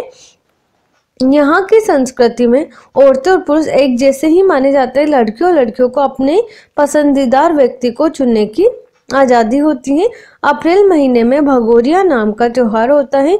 इनमें लड़के लड़कियाँ मेले में आते हैं। इस मेले में वे अपने पसंदीदार व्यक्ति को चुनने की, चुन के शादी कर लेते हैं। होली यहाँ सबसे महत्वपूर्ण त्योहार है। होली के पंद्रह दिन पहले ही ढोल बजाए जाते हैं। होली के दिन में लड़के लड़कियाँ नृत्य करते हैं। शिक्षा जो है, यहाँ सुखाड़िया विश्वविद्यालय संलग्न अनेक महाविद्यालय है। प्राथमिक एवं माध्यमिक शिक्षा हेतु सरकारी स्कूल है यहाँ पर। खनिज एवं कृषि की बात की जाए तो डूंगरपुर के आसपास का क्षेत्र अन्य क्षेत्रों की तुलना में समतल और उपजाऊ है। माही डूंगरपुर की प्रमुख नदी है। मक्का, गेहूँ और चना डूंगरपुर की प्रमुख फ़सलें हैं। यहाँ पर महुआ नाम की शराब बनाई जाती है। तो ये ध्यान रखना है, महुआ नाम की शराब जो बनती है अपने राजस्थान में, वो बनती है डूंगरपुर ज़िले में। राजस्थान में सोना मुख्यतः बांसवाड़ा व डूंगरपुर में ही पाया जाता है। डूंगरपुर में लोहा अयस्क सीसा, जस्ता, चांदी और मैंगनीज पाया जाता है। सोनाड़ी भेड़ राजस्थान में बांसवाड़ा, भिलवाड़ा, डूंगरपुर, उदयपुर और चित्तौड़गढ़ में आदि जिलों में पाई जाती है। इस भेड़ की मुख्य पहचान ये है कि इसके कान बहुत लंबे होते हैं।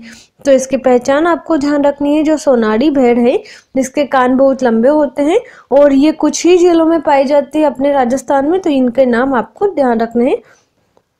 प्रमुख स्थल जो है, रास्ता पाल गुरु शिष्य के बलिदान की मिसाल कालीबाई के प्राणोत्सर्ग हेतु तो प्रसिद्ध है। मांडो की पाल फ्लोस पार बेनिफिशियन संयंत्र वहाँ पर है। गलियाकोट दाऊदी बोहरा संप्रदाय की गद्दी, जहाँ हर वर्ष उर्स भरता है। बानेश्वर मंदिर डूंगरपुर से 60 किलोमीटर दूर है। इस मंदिर में इस क्षेत्र का सबसे प्रसिद्ध और पवित्र शिवलिंग स्थापित है। यह मंदिर सोम और माही नदी के मुहाने पर बना है। देव सोमनाथ शिव का सफ़ेद पत्थरों निर्मित प्रसिद्ध मंदिर है।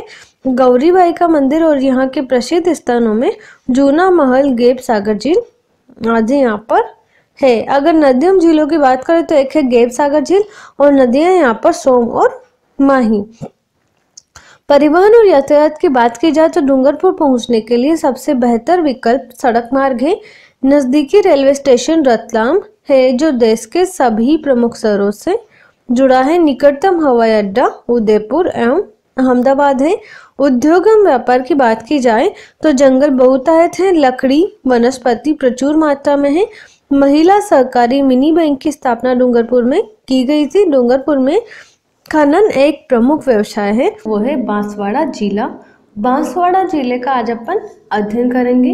वहाँ का क्षेत्रफल क्या है? वहाँ की भौगोलिक विशेषताएँ क्या है? वहाँ पर स्कूल कैसे हैं? वहाँ पर इसके अलावा एजुकेशन सिस्टम कैसा है? तो हर बारे में अपन बांसवाड़ा ज़िले से संबंधित बात करेंगे। तो स्टार्ट करते सबसे पहला है अपना टॉपिक महत्वपूर्ण तथ्य। महत्वपूर्ण तथ्य में जो है, बांसवाड़ा ज़िले का कुल क्षेत्रफल है पाँच हज़ार सैंतीस वर्ग किलोमीटर या किलोमीटर स्क्वायर कितना है? पाँच हज़ार सैंतीस वर्ग किलोमीटर। बांसवाड़ा ज़िले की जो जनसंख्या है 2011 के जनगणना के अनुसार, वो है सत्रह लाख अट्ठानवे हज़ार एक सौ चौरानवे। बांसवाड़ा ज़िले का जो संभागीय मुख्यालय है, वो उदयपुर में है और यही सबसे महत्वपूर्ण है। ऐसे ही प्रश्न आते हैं, पूछ लिया जाता है कि बांसवाड़ा ज़िले का संभागीय मुख्यालय कहाँ है तो उदयपुर में है। लेकिन कभी कभी बहुत से फ्रेंड्स बांसवाड़ा ही लगाकर आ जाते हैं तो ये बात आपको ध्यान रखनी है तथ्य। इसके बाद आती है, भौगोलिक स्थिति। बांसवाड़ा जिला जो है, राजस्थान के दक्षिणी भाग में स्थित एक शहर है। बांसवाड़ा की भौगोलिक स्थिति तेईस डिग्री तैतीस नॉर्थ से चौहत्तर डिग्री सत्ताईस ईस्ट तक है और इसके बाद जो आता है वो आता है तेईस डिग्री पचपन नॉर्थ से चौहत्तर डिग्री पैंतालीस ईस्ट में है। इसके बाद आता है यह गुजरात और मध्य प्रदेश दोनों राज्यों की सीमा के निकट है। ये भी पूछ लिया जाता है कि ऐसा कौन सा राज्य है जो इनकी सीमाओं से लगता है? ऐसा कौन सा जिला है राजस्थान का जिनमें इन राज्यों की सीमाएँ लगती है? ऐसा कौन सा जिला है जिनमें इन राज्यों की सीमाएँ नहीं लगती हैं? तो ये आपको ध्यान रखना है।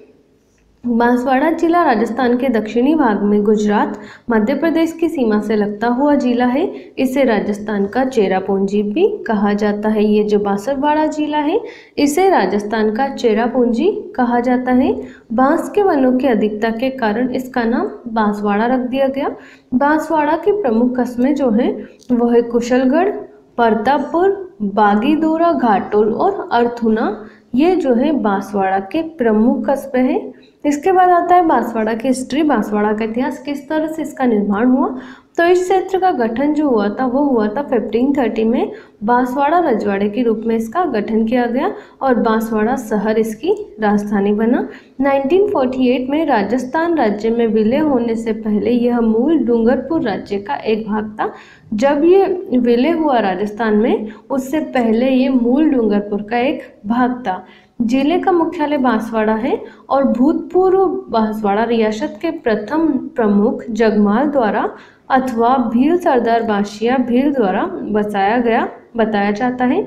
इसे सौ द्वीपों का नगर भी कहते हैं क्योंकि यहाँ से लेकर बहने वाली माही नदी में अनेकानेक से द्वीप है। तो ये भी ध्यान रखना है सौ द्वीपों का नगर और ये पूछा गया है एग्ज़ाम में, अभी जो रिसेंट एग्ज़ाम हुए उसी में आया है तो आपको ध्यान रखना है, बांसवाड़ा को सौ द्वीपों का नगर कहा जाता है। कला एवं संस्कृति, बांसवाड़ा में मुख्यतः वागड़ी भाषा बोली जाती है, वागड़ी भाषा यहाँ पर बोली जाती है। बांसवाड़ा मुख्यतः आदिवासी क्षेत्र में स्थित है, आदिवासी क्षेत्र है ये। धार्मिक एवं पुरातात्विक दृष्टि से महत्वपूर्ण यह शहर अब राजस्थान के खूबसूरत और मनोहारी शहरों में गिना जाने लगा है। माँ त्रिपुरा सुंदरी मंदिर शताब्दियों से विशिष्ट शक्ति साधकों का प्रसिद्ध उपासना केंद्र रहा है।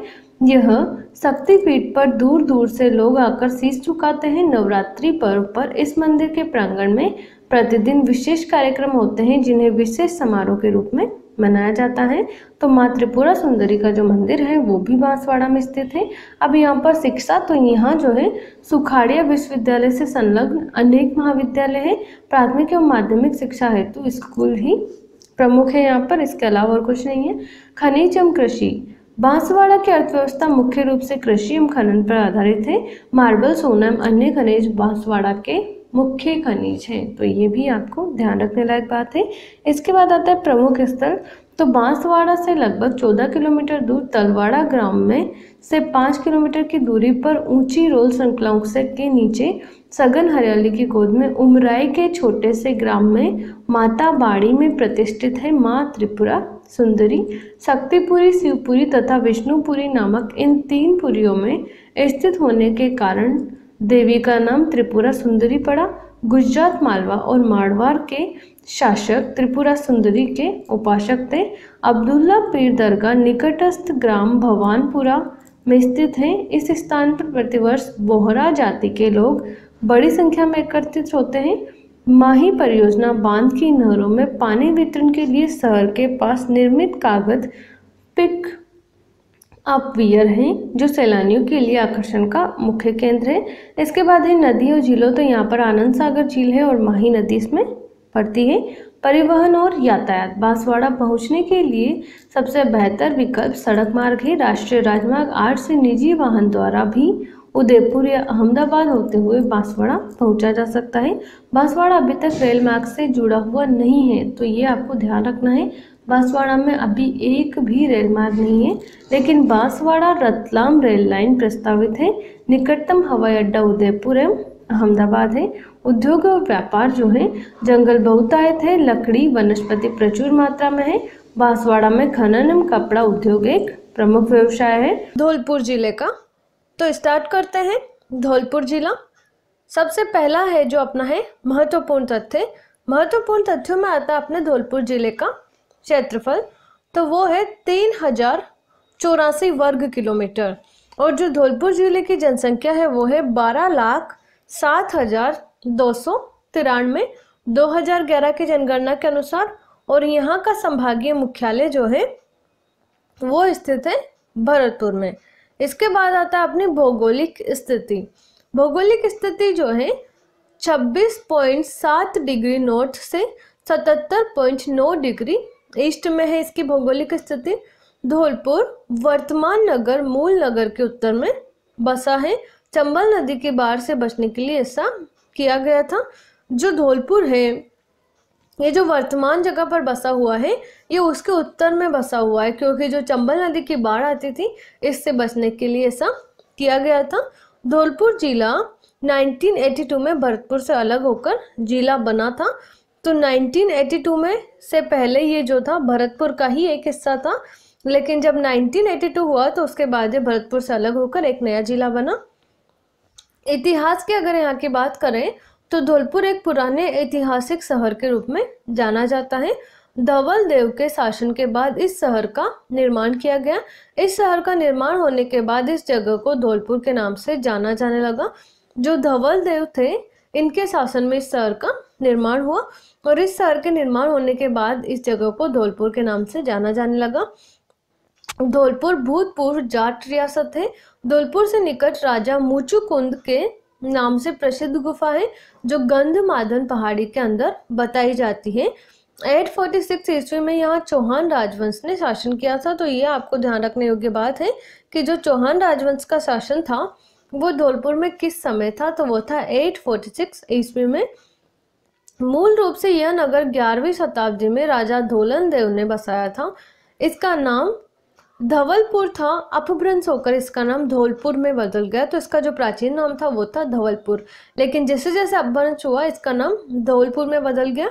धौलपुर में भरतपुर के जाट राज्यवंश के एक शाखा का राज्य था। भरतपुर के सर्वश्रेष्ठ शासक सूरजमल जाट की मृत्यु के समय धौलपुर भरतपुर राज्य में ही सम्मिलित था।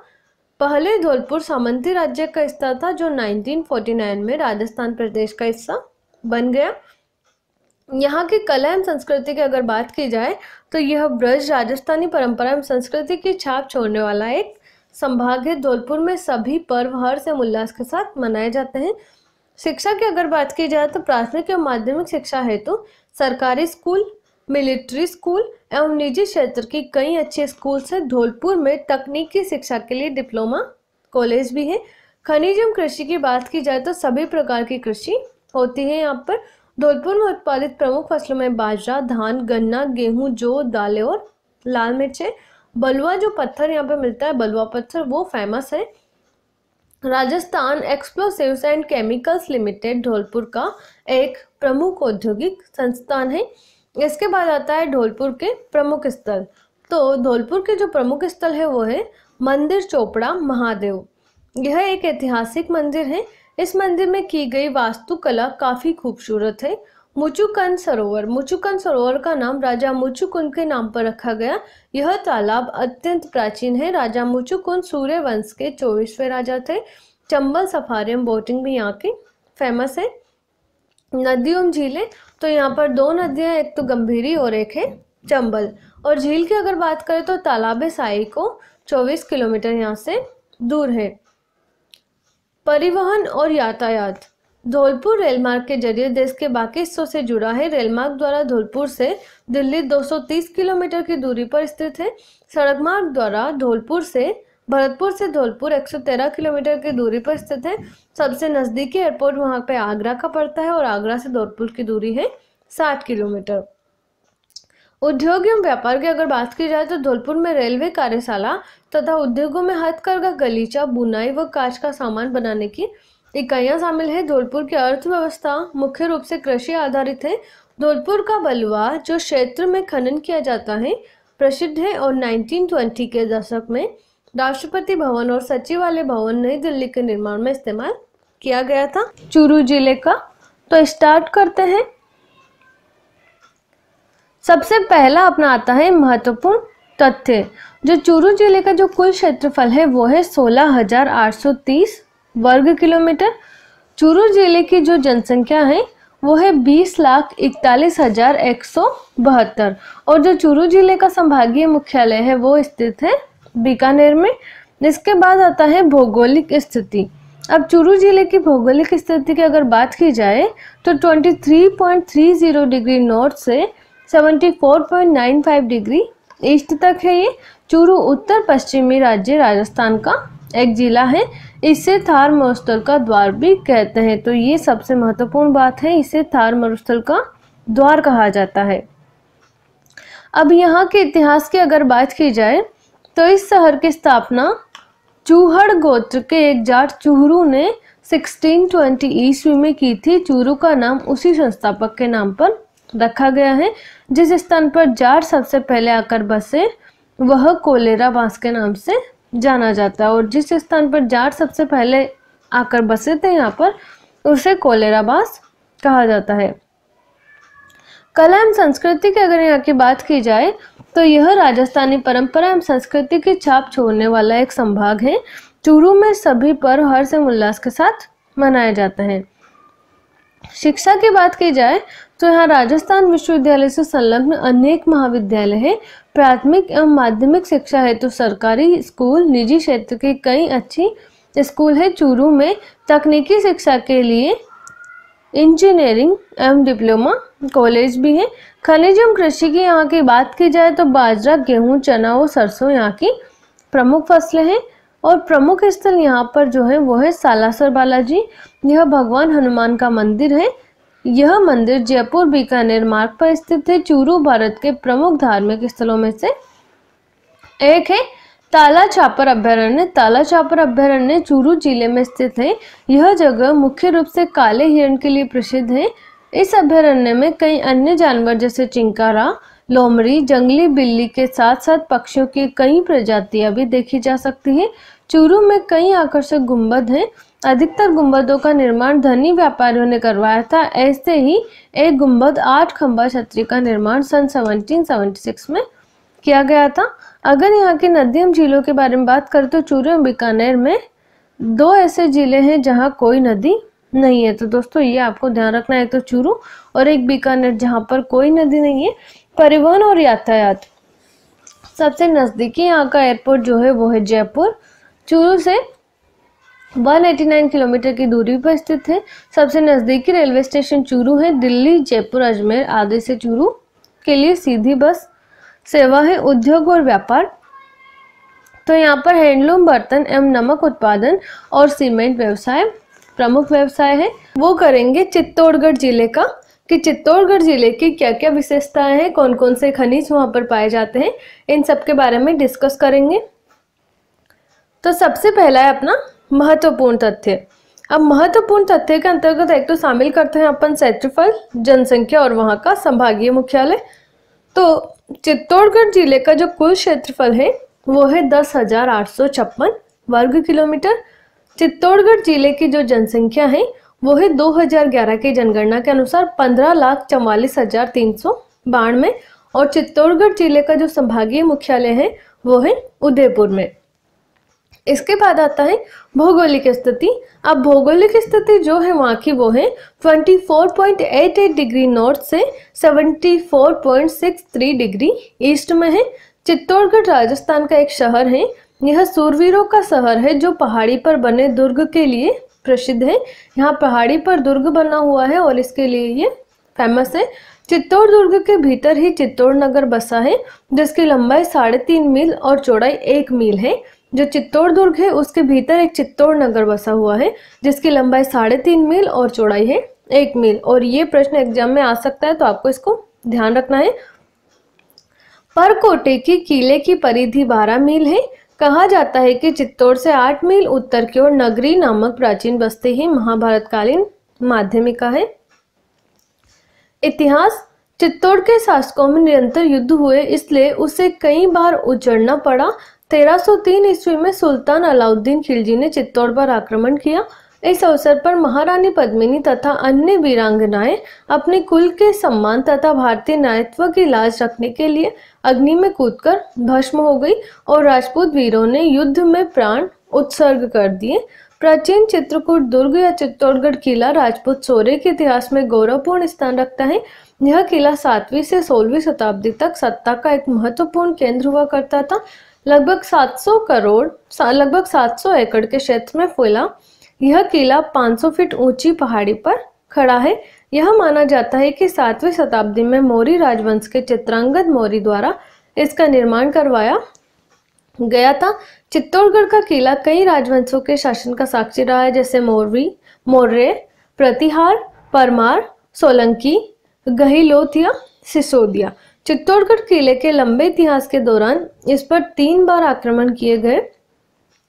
पहला आक्रमण सन 1303 में अलाउद्दीन खिलजी द्वारा, दूसरा सन 1535 में गुजरात के बहादुर शाह द्वारा और तीसरा सन 1567 से 68 के बीच मुगल शाह अकबर द्वारा किया गया था। प्रत्येक बार जोहर किया गया यहाँ पर।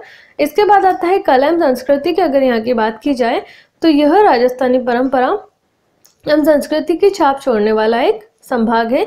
चित्तौड़गढ़ में सभी पर्व हर्ष एवं उल्लास के साथ मनाए जाते हैं। हस्त निर्मित खिलौने, चमड़े के जूते और कपड़े यहाँ के फ़ेमस है। चित्तौड़गढ़ मेवाड़ का प्रसिद्ध नगर, जो भारत के इतिहास में सुशोधिया राजपूतों की वीर गाथाओं के लिए अमर है। शिक्षा, अगर यहाँ की शिक्षा की बात की जाए एजुकेशन फ़ील्ड की तो यहाँ राजस्थान विश्वविद्यालय से संलग्न अनेक महाविद्यालय हैं। प्राथमिक एवं माध्यमिक शिक्षा है तो सरकारी स्कूल, सैनिक स्कूल एवं निजी क्षेत्र के कई अच्छी स्कूल्स हैं। चित्तौड़गढ़ में तकनीकी शिक्षा के लिए इंजीनियरिंग एवं डिप्लोमा कॉलेज भी हैं। खनिज एवं कृषि तो गेहूँ, गन्ना और कपास यहाँ की प्रमुख फ़सलें हैं। चित्तौड़गढ़ सीमेंट उत्पादन में अग्रणी जिला है। प्रमुख स्थलों की अगर बात की जाए तो चित्तौड़गढ़ किला राजस्थान के इतिहास प्रसिद्ध चित्तौड़ में स्थित है। यह किला ज़मीन से लगभग 500 फुट ऊंचाई वाली एक पहाड़ी पर बना हुआ है। परंपरा से प्रसिद्ध है कि इसे चित्रांगद मौर्य ने बनवाया था। आठवीं शताब्दी में गुहिल वंशी बापा ने इसे हस्तगत किया। पद्मिनी का महल चौगान के निकट ही एक झील के किनारे रावल रतन सिंह की पद्मनी के महल बने हुए हैं। एक छोटा महल पानी के बीच बना हुआ है, जो जनाना महल कहलाता है। वो किनारे के जो महल है, वो मर्दाना महल कहलाते हैं। कीर्ति स्तंभ महाराणा कुंभा ने मालवा के सुल्तान महमूद शाह खिलजी को सन 1440 ईस्वी में प्रथम बार प्रास्त किया। इसकी यादगार में इष्ट देव विष्णु के निर्मित यह कीर्ति स्तंभ बनवाया था। गोरा बादल की घूमरे पद्मिनी महल से दक्षिण पूर्व में दो गुंबदाकार इमारतें हैं, जिसे लोग गोरा बादल के महल के रूप में जानते हैं। कालिका माता का मंदिर पद्मिनी के महलों के उत्तर में बाएँ और कालिका माता का मंदिर का सुंदर ऊँची कुर्सी वाला विशाल महल है। इस मंदिर का निर्माण संभवतः सातवीं शताब्दी में मेवाड़ के गुहिल वंशीय राजाओं ने करवाया था। समिद्धेश्वर महादेव का मंदिर गोमुख कुंड के उत्तरी छोर पर समिद्धेश्वर का भव्य प्राचीन मंदिर है, जिसके भीतरी और बाहरी भाग पर बहुत ही सुंदर खुदाई का काम है। इसका निर्माण मालवा के प्रसिद्ध राजा भोज ने 22वीं शताब्दी में करवाया था। मीराबाई का मंदिर कुंभ श्याम के मंदिर के प्रांगण के में एक छोटा मंदिर है, जिसे कृष्ण दीवानी भातीमती मीराबाई का मंदिर कहते हैं, श्री सांवरिया सांवरिया जी मंदिर, चित्तौड़गढ़ से कुछ दूरी पर मंडपीय स्थान पर है, जिसे कृष्ण धाम भी कहा जाता है। नदियों, झीलें, गंभीरी बेड़च बनास माही, झाकम, चित्तौड़गढ़ में बहने वाली प्रमुख नदियाँ हैं। नाहरगढ़ झील चित्तौड़गढ़ में स्थित है। परिवहन और यातायात, चित्तौड़गढ़ कई प्रमुख शहरों जैसे उदयपुर, रतलाम, जयपुर, अजमेर आदि रेल द्वारा पहुँचा जा सकता है। चित्तौड़गढ़ का सबसे नजदीकी हवाई अड्डा उदयपुर है। दिल्ली, उदयपुर, जयपुर, अजमेर और अहमदाबाद आदि से चित्तौड़गढ़ के लिए सीधे बस सेवा है। उद्योग और व्यापार। चित्तौड़गढ़ सीमेंट उत्पादन में अग्रणी जिला है। सुगर मिल एवं कृषि अन्य यहाँ के व्यवसाय है। बूंदी जिला, इसके बारे में आज अपन अध्ययन करेंगे। तो सबसे पहला है अपना महत्वपूर्ण तथ्य। महत्वपूर्ण तथ्य में एक तो आएगा बूंदी ज़िले का क्षेत्रफल। तो जो बूंदी ज़िले का क्षेत्रफल है वो है five thousand five hundred fifty kilometre square ये यहाँ का क्षेत्रफल है। बूंदी ज़िले की जो जनसंख्या है 2011 की जनगणना के अनुसार तो वो है 11 lakh thirteen thousand seven hundred twenty five यहाँ की पॉपुलेशन है टोटल और यहाँ का जो संभागीय मुख्यालय है ये, कोटा है यहाँ का संभागीय मुख्यालय। यहाँ की भौगोलिक स्थिति की अगर बात की जाए तो यहाँ की भौगोलिक स्थिति है ट्वेंटी फाइव 6.44 डिग्री नॉर्थ और 75.64 डिग्री ईस्ट में है और राजस्थान के दक्षिण पूर्व में स्थित बूंदी एक पूर्व रियासत एवं जिला मुख्यालय है। इसकी स्थापना सन 1242 ईस्वी में राव देवाजी ने की थी। तो इसकी जो स्थापना हुई वो की गई थी 1242 ईस्वी में राव देवाजी के द्वारा। बूंदी जो है, पहाड़ियों से घरा, घिरा, सघन वनाच्छादित सुरम्य शहर है। अगर बूंदी की हिस्ट्री की बात की जाए तो बूंदी की स्थापना हुई 1242 में राव देवाजी के द्वारा। यहाँ के शासक जो थे, राव सुरजन हाड़ा ने अकबर की अधीनता स्वीकार कर ली थी। शाहजहां के समय बूंदी के शासक छत्रसाल हाड़ा ने दारा की ओर से धर्मत की लड़ाई में भाग लिया था, किंतु वह इस युद्ध में मारा गया। बूंदी अपने विशिष्ट चित्रकला शैली के लिए विख्यात है, जो इस अंचल में मध्यकाल में विकसित हुई। बूंदी चित्रकला के विषयों में शिकार, सवारी, रामलीला, स्नानरत नायिका, विचरण करते हुए हाथी, सैर, हिरण, गगनचारी पक्षी, पेड़ों पर फुदकते शाखामृग आदि रहे हैं। हाड़ा साकर शासक राव देवा ने बूंदा को हराकर बूंदी पर कब्जा कर लिया। फिर इससे अपनी राजधानी बनाया। सन 1947 में भारत के स्वतंत्र होने तक बूंदी एक स्वतंत्र रियासत के रूप में कायम रहा। यहाँ की कला और संस्कृति की अगर बात की जाए तो बूंदी चित्रकला, राजपूत, राजस्थान की राजपूत चित्रकला शैली में से एक है। बूंदी की शैली में कदली, आम व पीपल के वृक्षों के साथ साथ फूल पत्तियों और बैलों को चित्रित किया गया है। मुगलों के अधीनता में आने के बाद यहाँ की चित्रकला में नया मोड़ आया। यहाँ की चित्रकला पर उत्तरोत्तर मुगल प्रभाव पड़ने लगा। यहाँ कजली, तीज, गणगौर, बूंदी महोत्सव यहाँ के प्रमुख त्योहार है।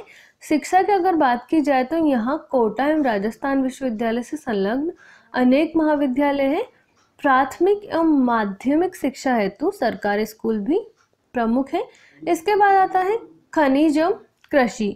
बूंदी अर्थव्यवस्था मुख्य रूप से कृषि, कपड़ा और पर्यटन उद्योग पर आधारित है। हस्तशिल्प उद्योग राजस्थान में बूंदी की आर्थिक समृद्धि में एक निर्णायक भूमिका निभाता है। अब यहाँ के प्रमुख स्थलों की अगर बात की जाए तो तारागढ़ का दुर्ग अरावली पर्वत पर स्थित है। इसे बूंदी का किला भी कहा जाता है। चौदहवीं शताब्दी में बूंदी के संस्थापक रावदेव हाड़ा ने इस सुदृढ़ किले का निर्माण कराया था। बूंदी पैलेस तारागढ़ किले के निकट ढाल पर स्थित है और अपने भव्य पारंपरिक भित्ति चित्र और भित्ति चित्रों के लिए उल्लेखनीय है। बूंदी के की सीढ़ीधार बावड़ियाँ प्रसिद्ध है, जिनमें 1699 में बनी नाथावत जी की बावड़ी सबसे ज़्यादा फ़ेमस है। बूंदी नदियों, झीलें, बूंदी की जो नदियाँ हैं और झीलें हैं तो बूंदी में झीलें हैं नवल सागर बधाई कुंड और जैत सागर, ये तीन ज़िले बूंदी ज़िले में है। बनास, कराई, पार्वती कालीसिंध ये नदियाँ बूंदी ज़िले में पड़ती है।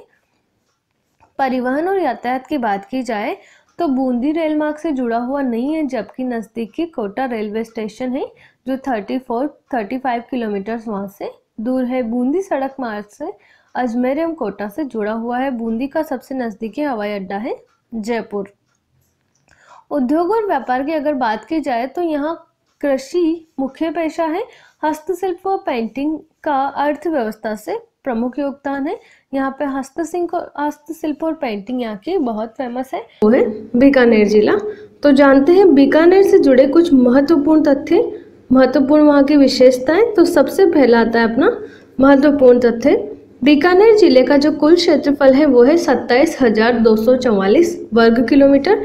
बीकानेर ज़िले की जनसंख्या है तेईस लाख सड़सठ हज़ार सात सौ पैंतालीस। दो हज़ार ग्यारह की जनगणना के अनुसार और वहाँ का संभागीय मुख्यालय है बीकानेर में और ये बात आपको ध्यान रखने योग्य है क्योंकि ये प्रश्न एग्ज़ाम में पूछा जाने लायक है किस ज़िले का संभागीय मुख्यालय कहाँ है।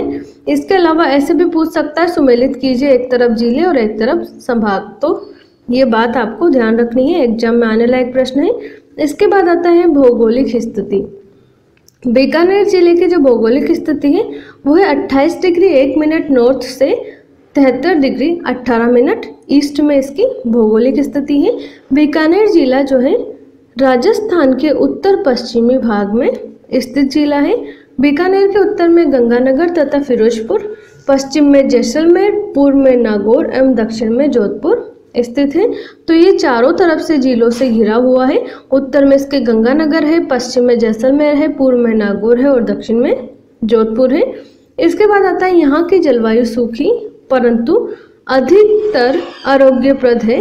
गर्मी में अधिक गर्मी और सर्दी में अधिक सर्दी पड़ना यहाँ की विशेषता है। यहाँ में गर्मी में जब होती है तो बहुत अधिक गर्मी हो जाती है और सर्दी में बहुत अधिक सर्दी हो जाती है। इसी कारण मई, जून और जुलाई मास में यहाँ लू बहुत ज़ोरों से चलती है, जिससे रेत के टीले उड़ उड़कर एक स्थान से दूसरे स्थान पर बन जाते हैं। यहाँ की हिस्ट्री की अगर बात करें तो बीकानेर राजस्थान का एक नगर तथा पुरानी रियासत था। बीकानेर शहर भूतपूर्व बीकानेर रियासत की राजधानी था। लगभग सन 1465 ईस्वी में राठौर जाति के एक राजपूत सरदार बीका ने अन्य राजपूत जातियों का भूभाग जीतना प्रारंभ किया, सन 1488 ईस्वी में उन्होंने बीकानेर शहर का निर्माण किया। तो 1488 ईस्वी में इसका निर्माण हुआ है। 18वीं शताब्दी में मुगलों के पतन के साथ ही बीकानेर और जोधपुर की रियासतों में बार बार लड़ाइयाँ होती रही।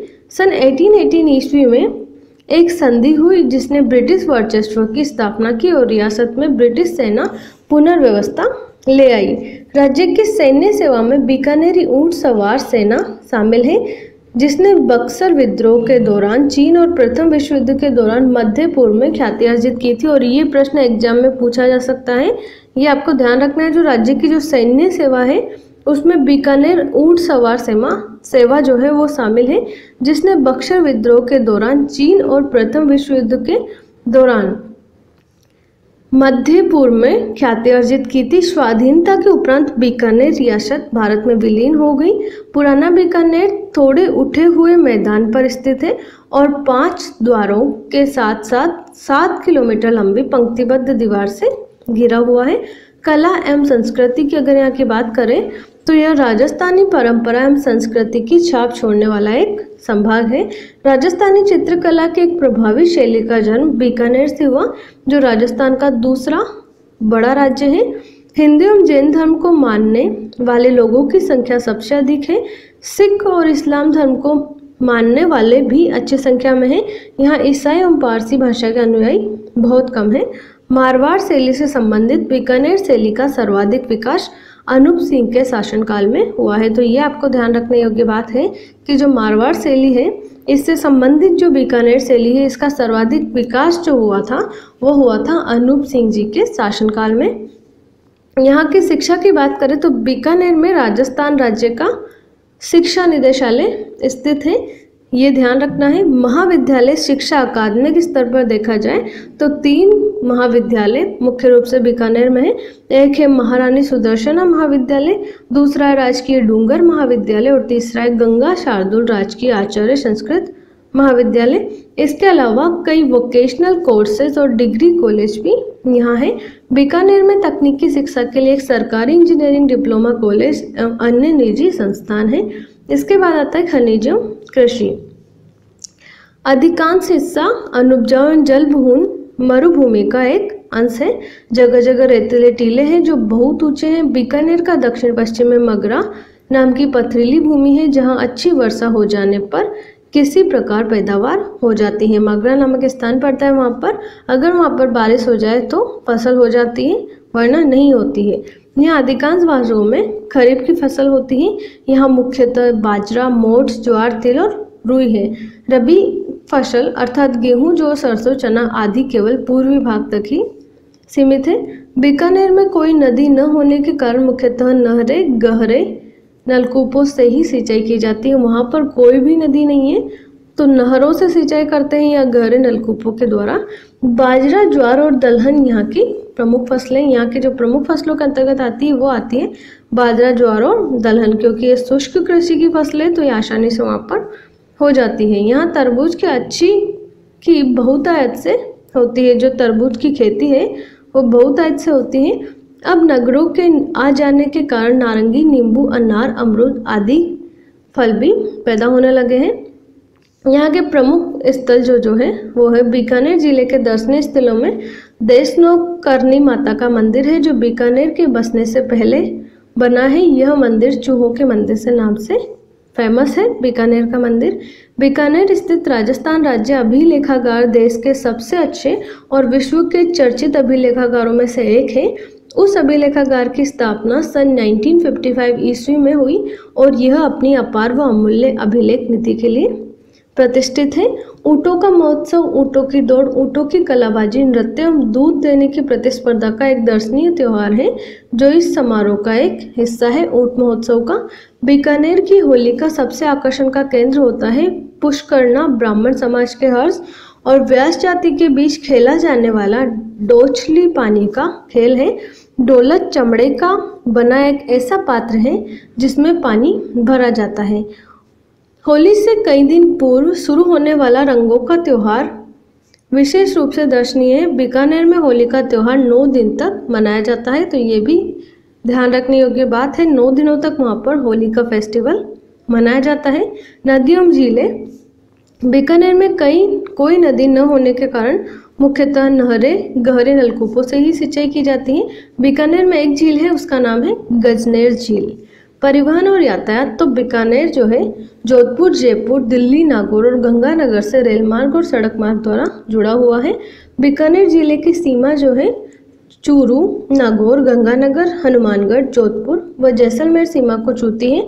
वही अंतर्राष्ट्रीय सीमा पाकिस्तान से लगती है। इसकी जो अंतर्राष्ट्रीय सीमा लगती है, वो लगती है पाकिस्तान से। बीकानेर का सबसे नज़दीकी हवाई अड्डा जोधपुर है।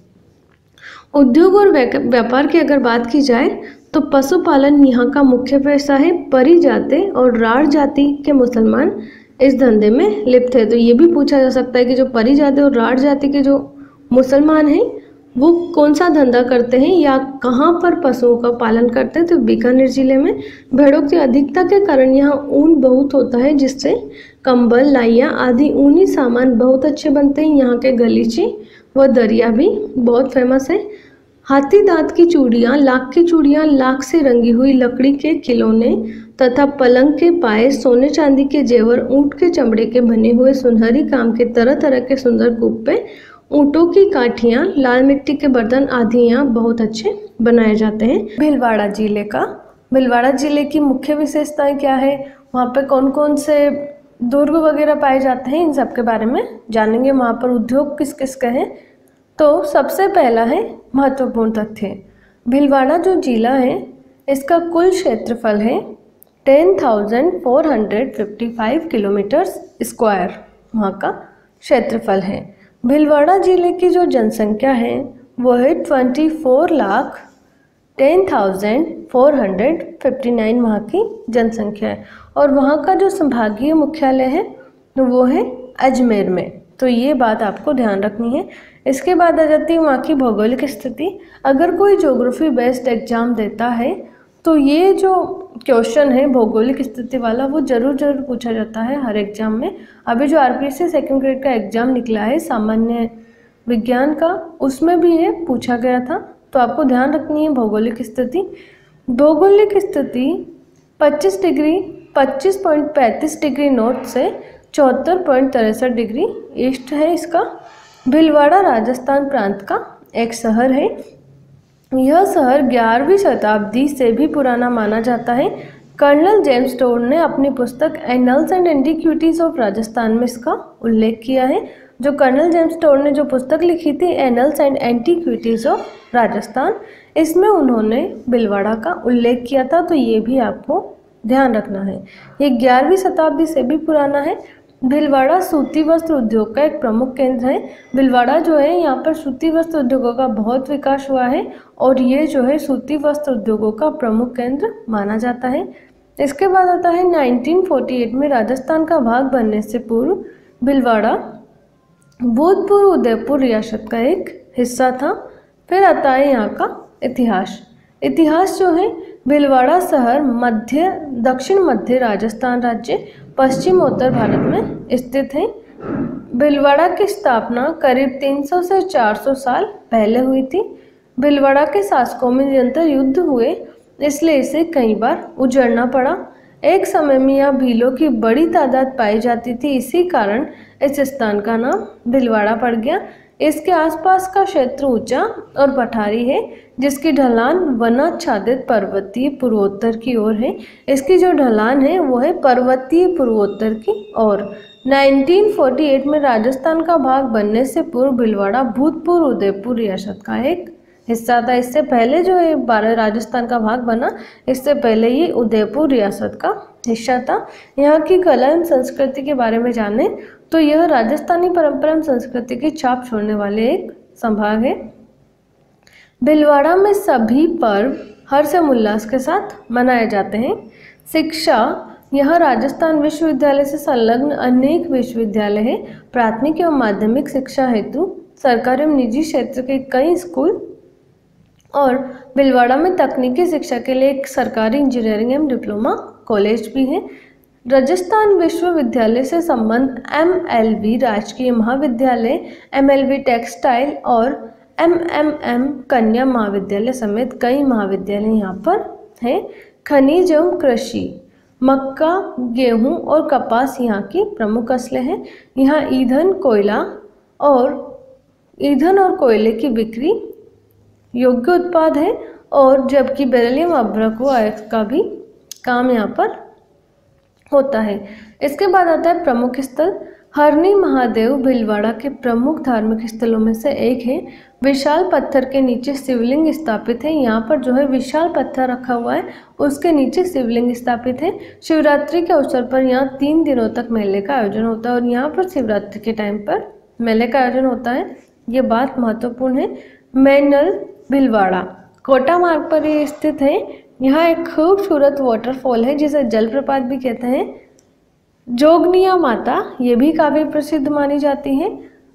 यह शहर से 80 किलोमीटर की दूरी पर स्थित है। आठवीं शताब्दी में इस मंदिर का निर्माण करवाया गया था। जोगनिया माता जो है, बहुत ही अच्छा स्थान है भिलवाड़ा में। त्रिवेणी भिलवाड़ा शहर से 40 किलोमीटर की दूरी पर स्थित है। त्रिवेणी में तीन नदियाँ, बाढ़ मनाली और बादच आपस में मिलती हैं। इसीलिए इसको त्रिवेणी कहा जाता है। इसके बाद है मंडलगढ़ किला, जो है भिलवाड़ा से 52 किलोमीटर की दूरी पर स्थित है। यह किला एक किलोमीटर लंबा है। इसकी जो लंबाई है, वो है एक किलोमीटर। तो ये भी पूछा जा सकता है एग्ज़ाम में। तो आपको ध्यान रखना है, शाहपुरा का भारत को स्वतंत्रता दिलाने में विशेष योगदान रहा है। यह अंतर्राष्ट्रीय रामस्नेही संप्रदाय का प्रमुख केंद्र था। सावपुरा यहाँ स्थित 700 साल पुरानी पेंटिंग के लिए भी प्रसिद्ध है। इसके बाद आता है नदी एवं झीलें। तो यहाँ पर जो नदियाँ हैं, वो है यहाँ पर बहुत सी नदियाँ हैं। बनास है बेड़च है, कोठारी है, खारी है, मानसी है, मैनाली है, चंद्रभागा है। व नागदी है। ये भीलवाड़ा में बहने वाली प्रमुख नदियाँ हैं तो ये आपको ध्यान रखना है इनके नाम। ऐसे भी पूछा जा सकता है कि निम्न में से कौन सी नदी भीलवाड़ा में नहीं बहती है, या उस नदी का नाम बताओ जो भीलवाड़ा में बहती है, या सुमेलित करने वाला क्वेश्चन भी पूछ सकता है नदी और झीलें। तो आपको ध्यान रखना है, मेजा झील भिलवाड़ा से 17 किलोमीटर की दूरी पर स्थित है। परिवहन और यातायात की बात करें तो भिलवाड़ा कई प्रमुख शहरों जैसे दिल्ली, उदयपुर, इंदौर, खांडवा, रतलाम, जयपुर, अजमेर और अहमदाबाद आदि रेल द्वारा जुड़ा हुआ है। आदि से ये रेल के माध्यम से जुड़ा हुआ है, रेल परिवहन के माध्यम से। भिलवाड़ा का सबसे नज़दीकी हवाई अड्डा उदयपुर है और यह 140 किलोमीटर की दूरी पर स्थित है। भिलवाड़ा राष्ट्रीय राजमार्ग फोर पर स्थित है। दिल्ली, उदयपुर, जयपुर, अजमेर और अहमदाबाद और जोधपुर। कोटा आदि से भिलवाड़ा के लिए सीधी बस सेवा दी गई है। अब उद्योग एवं व्यापार की बात करें तो भिलवाड़ा राजस्थान के प्रमुख औद्योगिक शहरों में से एक है। भिलवाड़ा को टेक्सटाइल सिटी ऑफ़ इंडिया कहा जाता है। भिलवाड़ा जो है उसे टेक्सटाइल सिटी ऑफ़ इंडिया कहा जाता है। ये आपको मालूम होगा। यहाँ पर बड़ी संख्या में टेक्सटाइल उद्योग लगे हुए हैं। भिलवाड़ा में कपड़ों के प्रमुख ब्रांड जैसे B S L Mayur suiting और सूजो की शूटिंग का उत्पादन होता है। भिलवाड़ा के उद्योगों में सूती वस्त्रों, हथकरघा और होजरी और धातु के वर्णन बर्तन विशेषकर जो टिन के बर्तन होते हैं, वो बनाने के उद्योग वहाँ पर हैं। भरतपुर ज़िले का, राजस्थान का जो भरतपुर जिला है, उसके बारे में कुछ महत्वपूर्ण तथ्य उसकी भौगोलिक स्थिति, उसकी जनसंख्या और उसके बारे में और भी बहुत कुछ तथ्य तो स्टार्ट करते हैं। सबसे पहला है अपना महत्वपूर्ण तथ्य। तो महत्वपूर्ण तथ्य में जो आता है, वो है भरतपुर ज़िले का क्षेत्रफल। पाँच हज़ार छसठ किलोमीटर स्क्वायर वहाँ का क्षेत्रफल है और वहाँ की जो जनसंख्या है 2011 की जनगणना के अनुसार वो है पच्चीस लाख उनचास हज़ार एक सौ इक्कीस वहाँ की जनसंख्या है। वहाँ का जो संभागीय मुख्यालय है, वो है भरतपुर में। तो ये आपको ध्यान रखने की बात है। इसके बाद आता है भौगोलिक स्थिति। भौगोलिक स्थिति से रिलेटेड क्वेश्चन एग्ज़ाम में आ चुका है और फिर आ सकता है। तो जो भरतपुर की भौगोलिक स्थिति है, वो है सत्ताईस डिग्री बाईस मिनट नॉर्थ से सतहत्तर पॉइंट अड़तालीस डिग्री ईस्ट है। भरतपुर राजस्थान का एक प्रमुख शहर होने के साथ साथ देश का सबसे प्रसिद्ध पक्षी उद्यान भी है। यह राष्ट्रीय राजधानी क्षेत्र का हिस्सा भी है तो ये भी आपको ध्यान रखना है। ये एक तो सबसे प्रसिद्ध पक्षी उद्यान है और यह राष्ट्रीय राजधानी क्षेत्र का हिस्सा है। इसके बाद आता है इतिहास। वहाँ की हिस्ट्री क्या है? किस तरह से इसका नाम पड़ा? किसने इसकी स्थापना की? तो भरतपुर की स्थापना जाट शासक राजा सूरजमल ने की थी और यह जाटों का गढ़ कहलाता है। भरतपुर का नामकरण राम के भाई भरत के नाम पर किया गया। लक्ष्मण इस राज परिवार के कुलदेव माने गए हैं। भरतपुर शहर की स्थापना ठाकुर चूड़ामान सिंह जाट ने की थी, लेकिन बाद में शासक राजा सूरजमल ने इसे सजाया और सवारा तो स्थापना करने वाले जो थे, वो थे ठाकुर चूड़ामान सिंह, जो कि एक जाट थे। इसके बाद है कला एवं संस्कृति। तो भरतपुर में होली जो है, भरतपुर की बहुत फ़ेमस है। भरतपुर में होली एक प्रमुख पर्व है, एवं यहाँ अंतर्राष्ट्रीय स्तर का दो दिवसीय ब्रज होली महोत्सव प्रतिवर्ष आयोजित किया जाता है। यहाँ की भाषा में ब्रज भाषा की छाप है और भरतपुर में सभी पर्व हर्ष उल्लास से मनाए जाते हैं। इसके बाद आता है शिक्षा। भरतपुर में जो शिक्षा है, यहाँ राजस्थान विश्वविद्यालय से संलग्न अनेक महाविद्यालय हैं। प्राथमिक एवं माध्यमिक शिक्षा है तो सरकारी एवं निजी क्षेत्र के कई अच्छे स्कूल हैं। भरतपुर में तकनीकी शिक्षा के लिए एक सरकारी इंजीनियरिंग एवं डिप्लोमा कॉलेज है। खनिज एवं कृषि। भरतपुर उत्तर और दक्षिण में विलक पहाड़ी क्षेत्र में एक विस्तृत जलोढ़ मैदान में स्थित है। बाजरा, चना, जौ, गेहूँ और तिलहन यहाँ की प्रमुख फ़सलें हैं। इसके बाद आता है प्रमुख स्थल। भरतपुर राष्ट्रीय उद्यान एशिया में पक्षियों का समूह प्रजातियों वाला सर्वश्रेष्ठ उद्यान है। इसके लिए ये फ़ेमस भी है। भरतपुर की गर्म जलवायु में सर्दियाँ बिताने प्रत्येक वर्ष साइबेरिया के दुर्लभ सारस यहाँ आते हैं। भरतपुर राष्ट्रीय उद्यान केलादेव घना के नाम से भी जाना जाता है। केलादेव नाम भगवान शिव को समर्पित मंदिर के लिए गया है, जो इस उद्यान के बीच में स्थित है।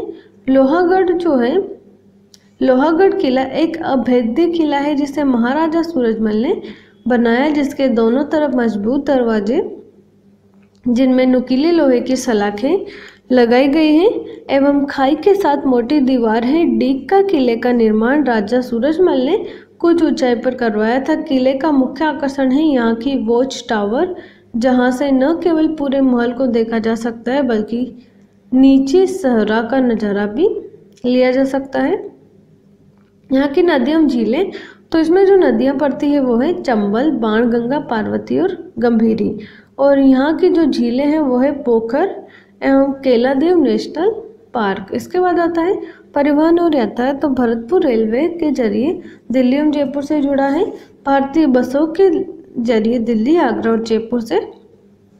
और निकटतम हवाई अड्डा यहाँ पे जो पड़ता है, वो आगरा, दिल्ली एवं जयपुर तीनों का ही पड़ता है। यहाँ का जो उद्योग और व्यापार से संबंधित बात करें तो भरतपुर के प्रमुख उद्योग में तेल मिलें, धातु निर्माण कारखाने, रेलवे कार्यशालाएँ और मोटर गाड़ी बनाने के कारखाने शामिल हैं। भरतपुर के हाथीदांत चांदी या चंदन की लकड़ी के हत्ते वाले हाथ से बने चवर प्रसिद्ध हैं। बारह ज़िले का, इससे पहले अपन ने अजमेर, अलवर और बारह ज़िले का अध्ययन कर लिया है। आज अपन अध्ययन करेंगे बाड़मेर ज़िले का। तो जानते हैं इसके बारे में? आज का है सबसे पहला है अपना महत्वपूर्ण तथ्य। तो जो बाड़मेर ज़िले का जो कुल क्षेत्रफल है, वो है अट्ठाईस वर्ग किलोमीटर। बाड़मेर ज़िले की जो जनसंख्या है, वो है छब्बीस लाख चार हज़ार चार सौ तिरपन। और जो बाड़मेर ज़िले का संभागीय मुख्यालय है तो वो है जोधपुर में। और ये सबसे महत्वपूर्ण बात है जो आपको ध्यान रखनी है। इसके बाद आता है भौगोलिक स्थिति। अब जो कल का एग्ज़ाम हुआ था, उसमें भी भौगोलिक स्थिति से रिलेटेड क्वेश्चन पूछा गया था तो अगर क्वेश्चन पूछ लिया जाता है तो आपको ये भी याद रखने योग्य बातें हैं। भौगोलिक स्थिति है, उत्तरी अक्षांश 24 और अट्ठावन मिनट से 26 32 मिनट और पूर्वी देशांतर 70 से 50 5 मिनट और बहत्तर से बावन मिनट के मध्य स्थित है। थार मरुस्थल का एक भाग बाड़मेर जिला और राजस्थान के पश्चिम में स्थित है। जो थार मरुस्थल है, वो राजस्थान के बाड़मेर ज़िले में स्थित है। ये भी आपको ध्यान रखना है।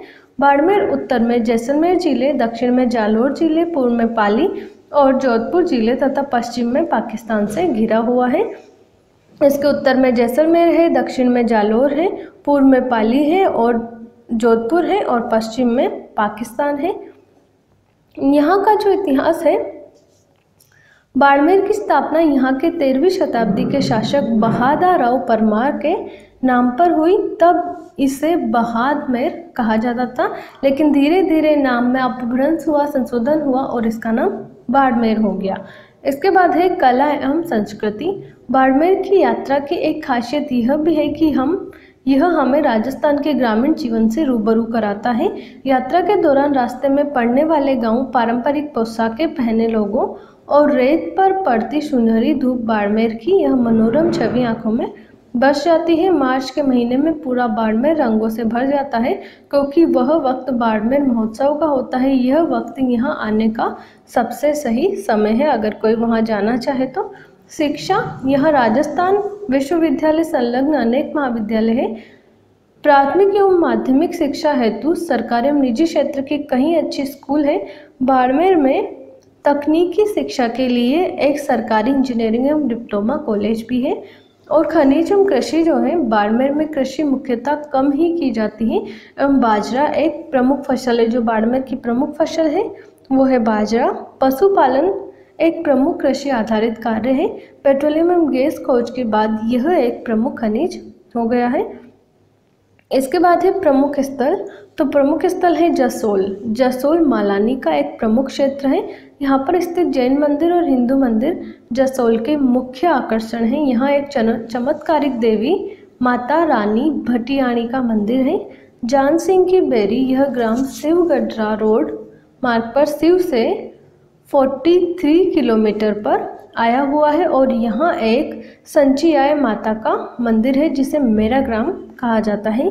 खेड़ जो है, राठौड़ वंश के संस्थापक राव सिंहा और उसके पुत्र ने खेड़ को गुहिल राजपूतों से जीता और यहाँ राठौड़ों का गढ़ बनाया। रणछोड़ जी का विष्णु मंदिर यहाँ का सबसे प्रमुख आकर्षण है। इसके बाद आता है किराड़ू। किराड़ू जो है पहाड़ी तराई में हाथमा गाँव के पास स्थित है किराड़ू।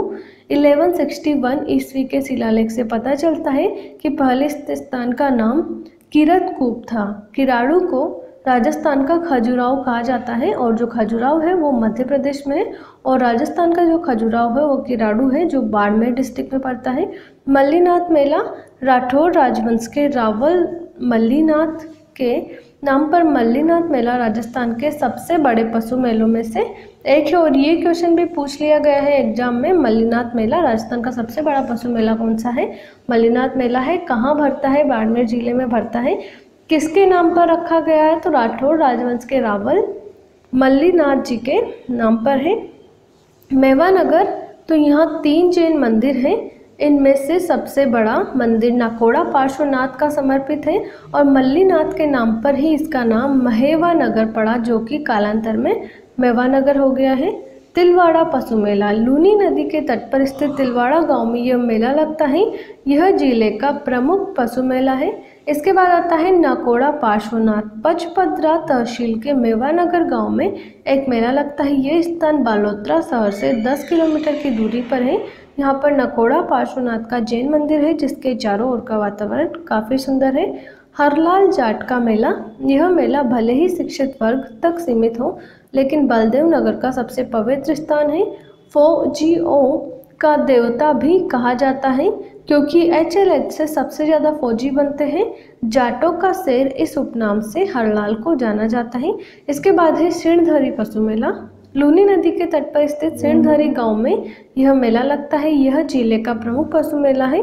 यह मेला मनोरंजक दृष्टि से काफ़ी महत्वपूर्ण है। इसके बाद है नदी एवं झीलें तो लूनी सुकड़ी नदी यहाँ पर है। इसके बाद है परिवहन और यातायात। बाड़मेर रेलवे के ज़रिए जोधपुर से जुड़ा है। बाड़मेर बसों के ज़रिए जैसलमेर और गुजरात से जुड़ा हुआ है। निकटतम हवाई अड्डा यहाँ का जोधपुर है। उद्योग और व्यापार, यहाँ पर नमक एवं कुटीर उद्योग, पेट्रोलियम एवं रसायन, गैस का उत्पादन यहाँ पर होता है। अलवर डिस्ट्रिक्ट का अध्ययन।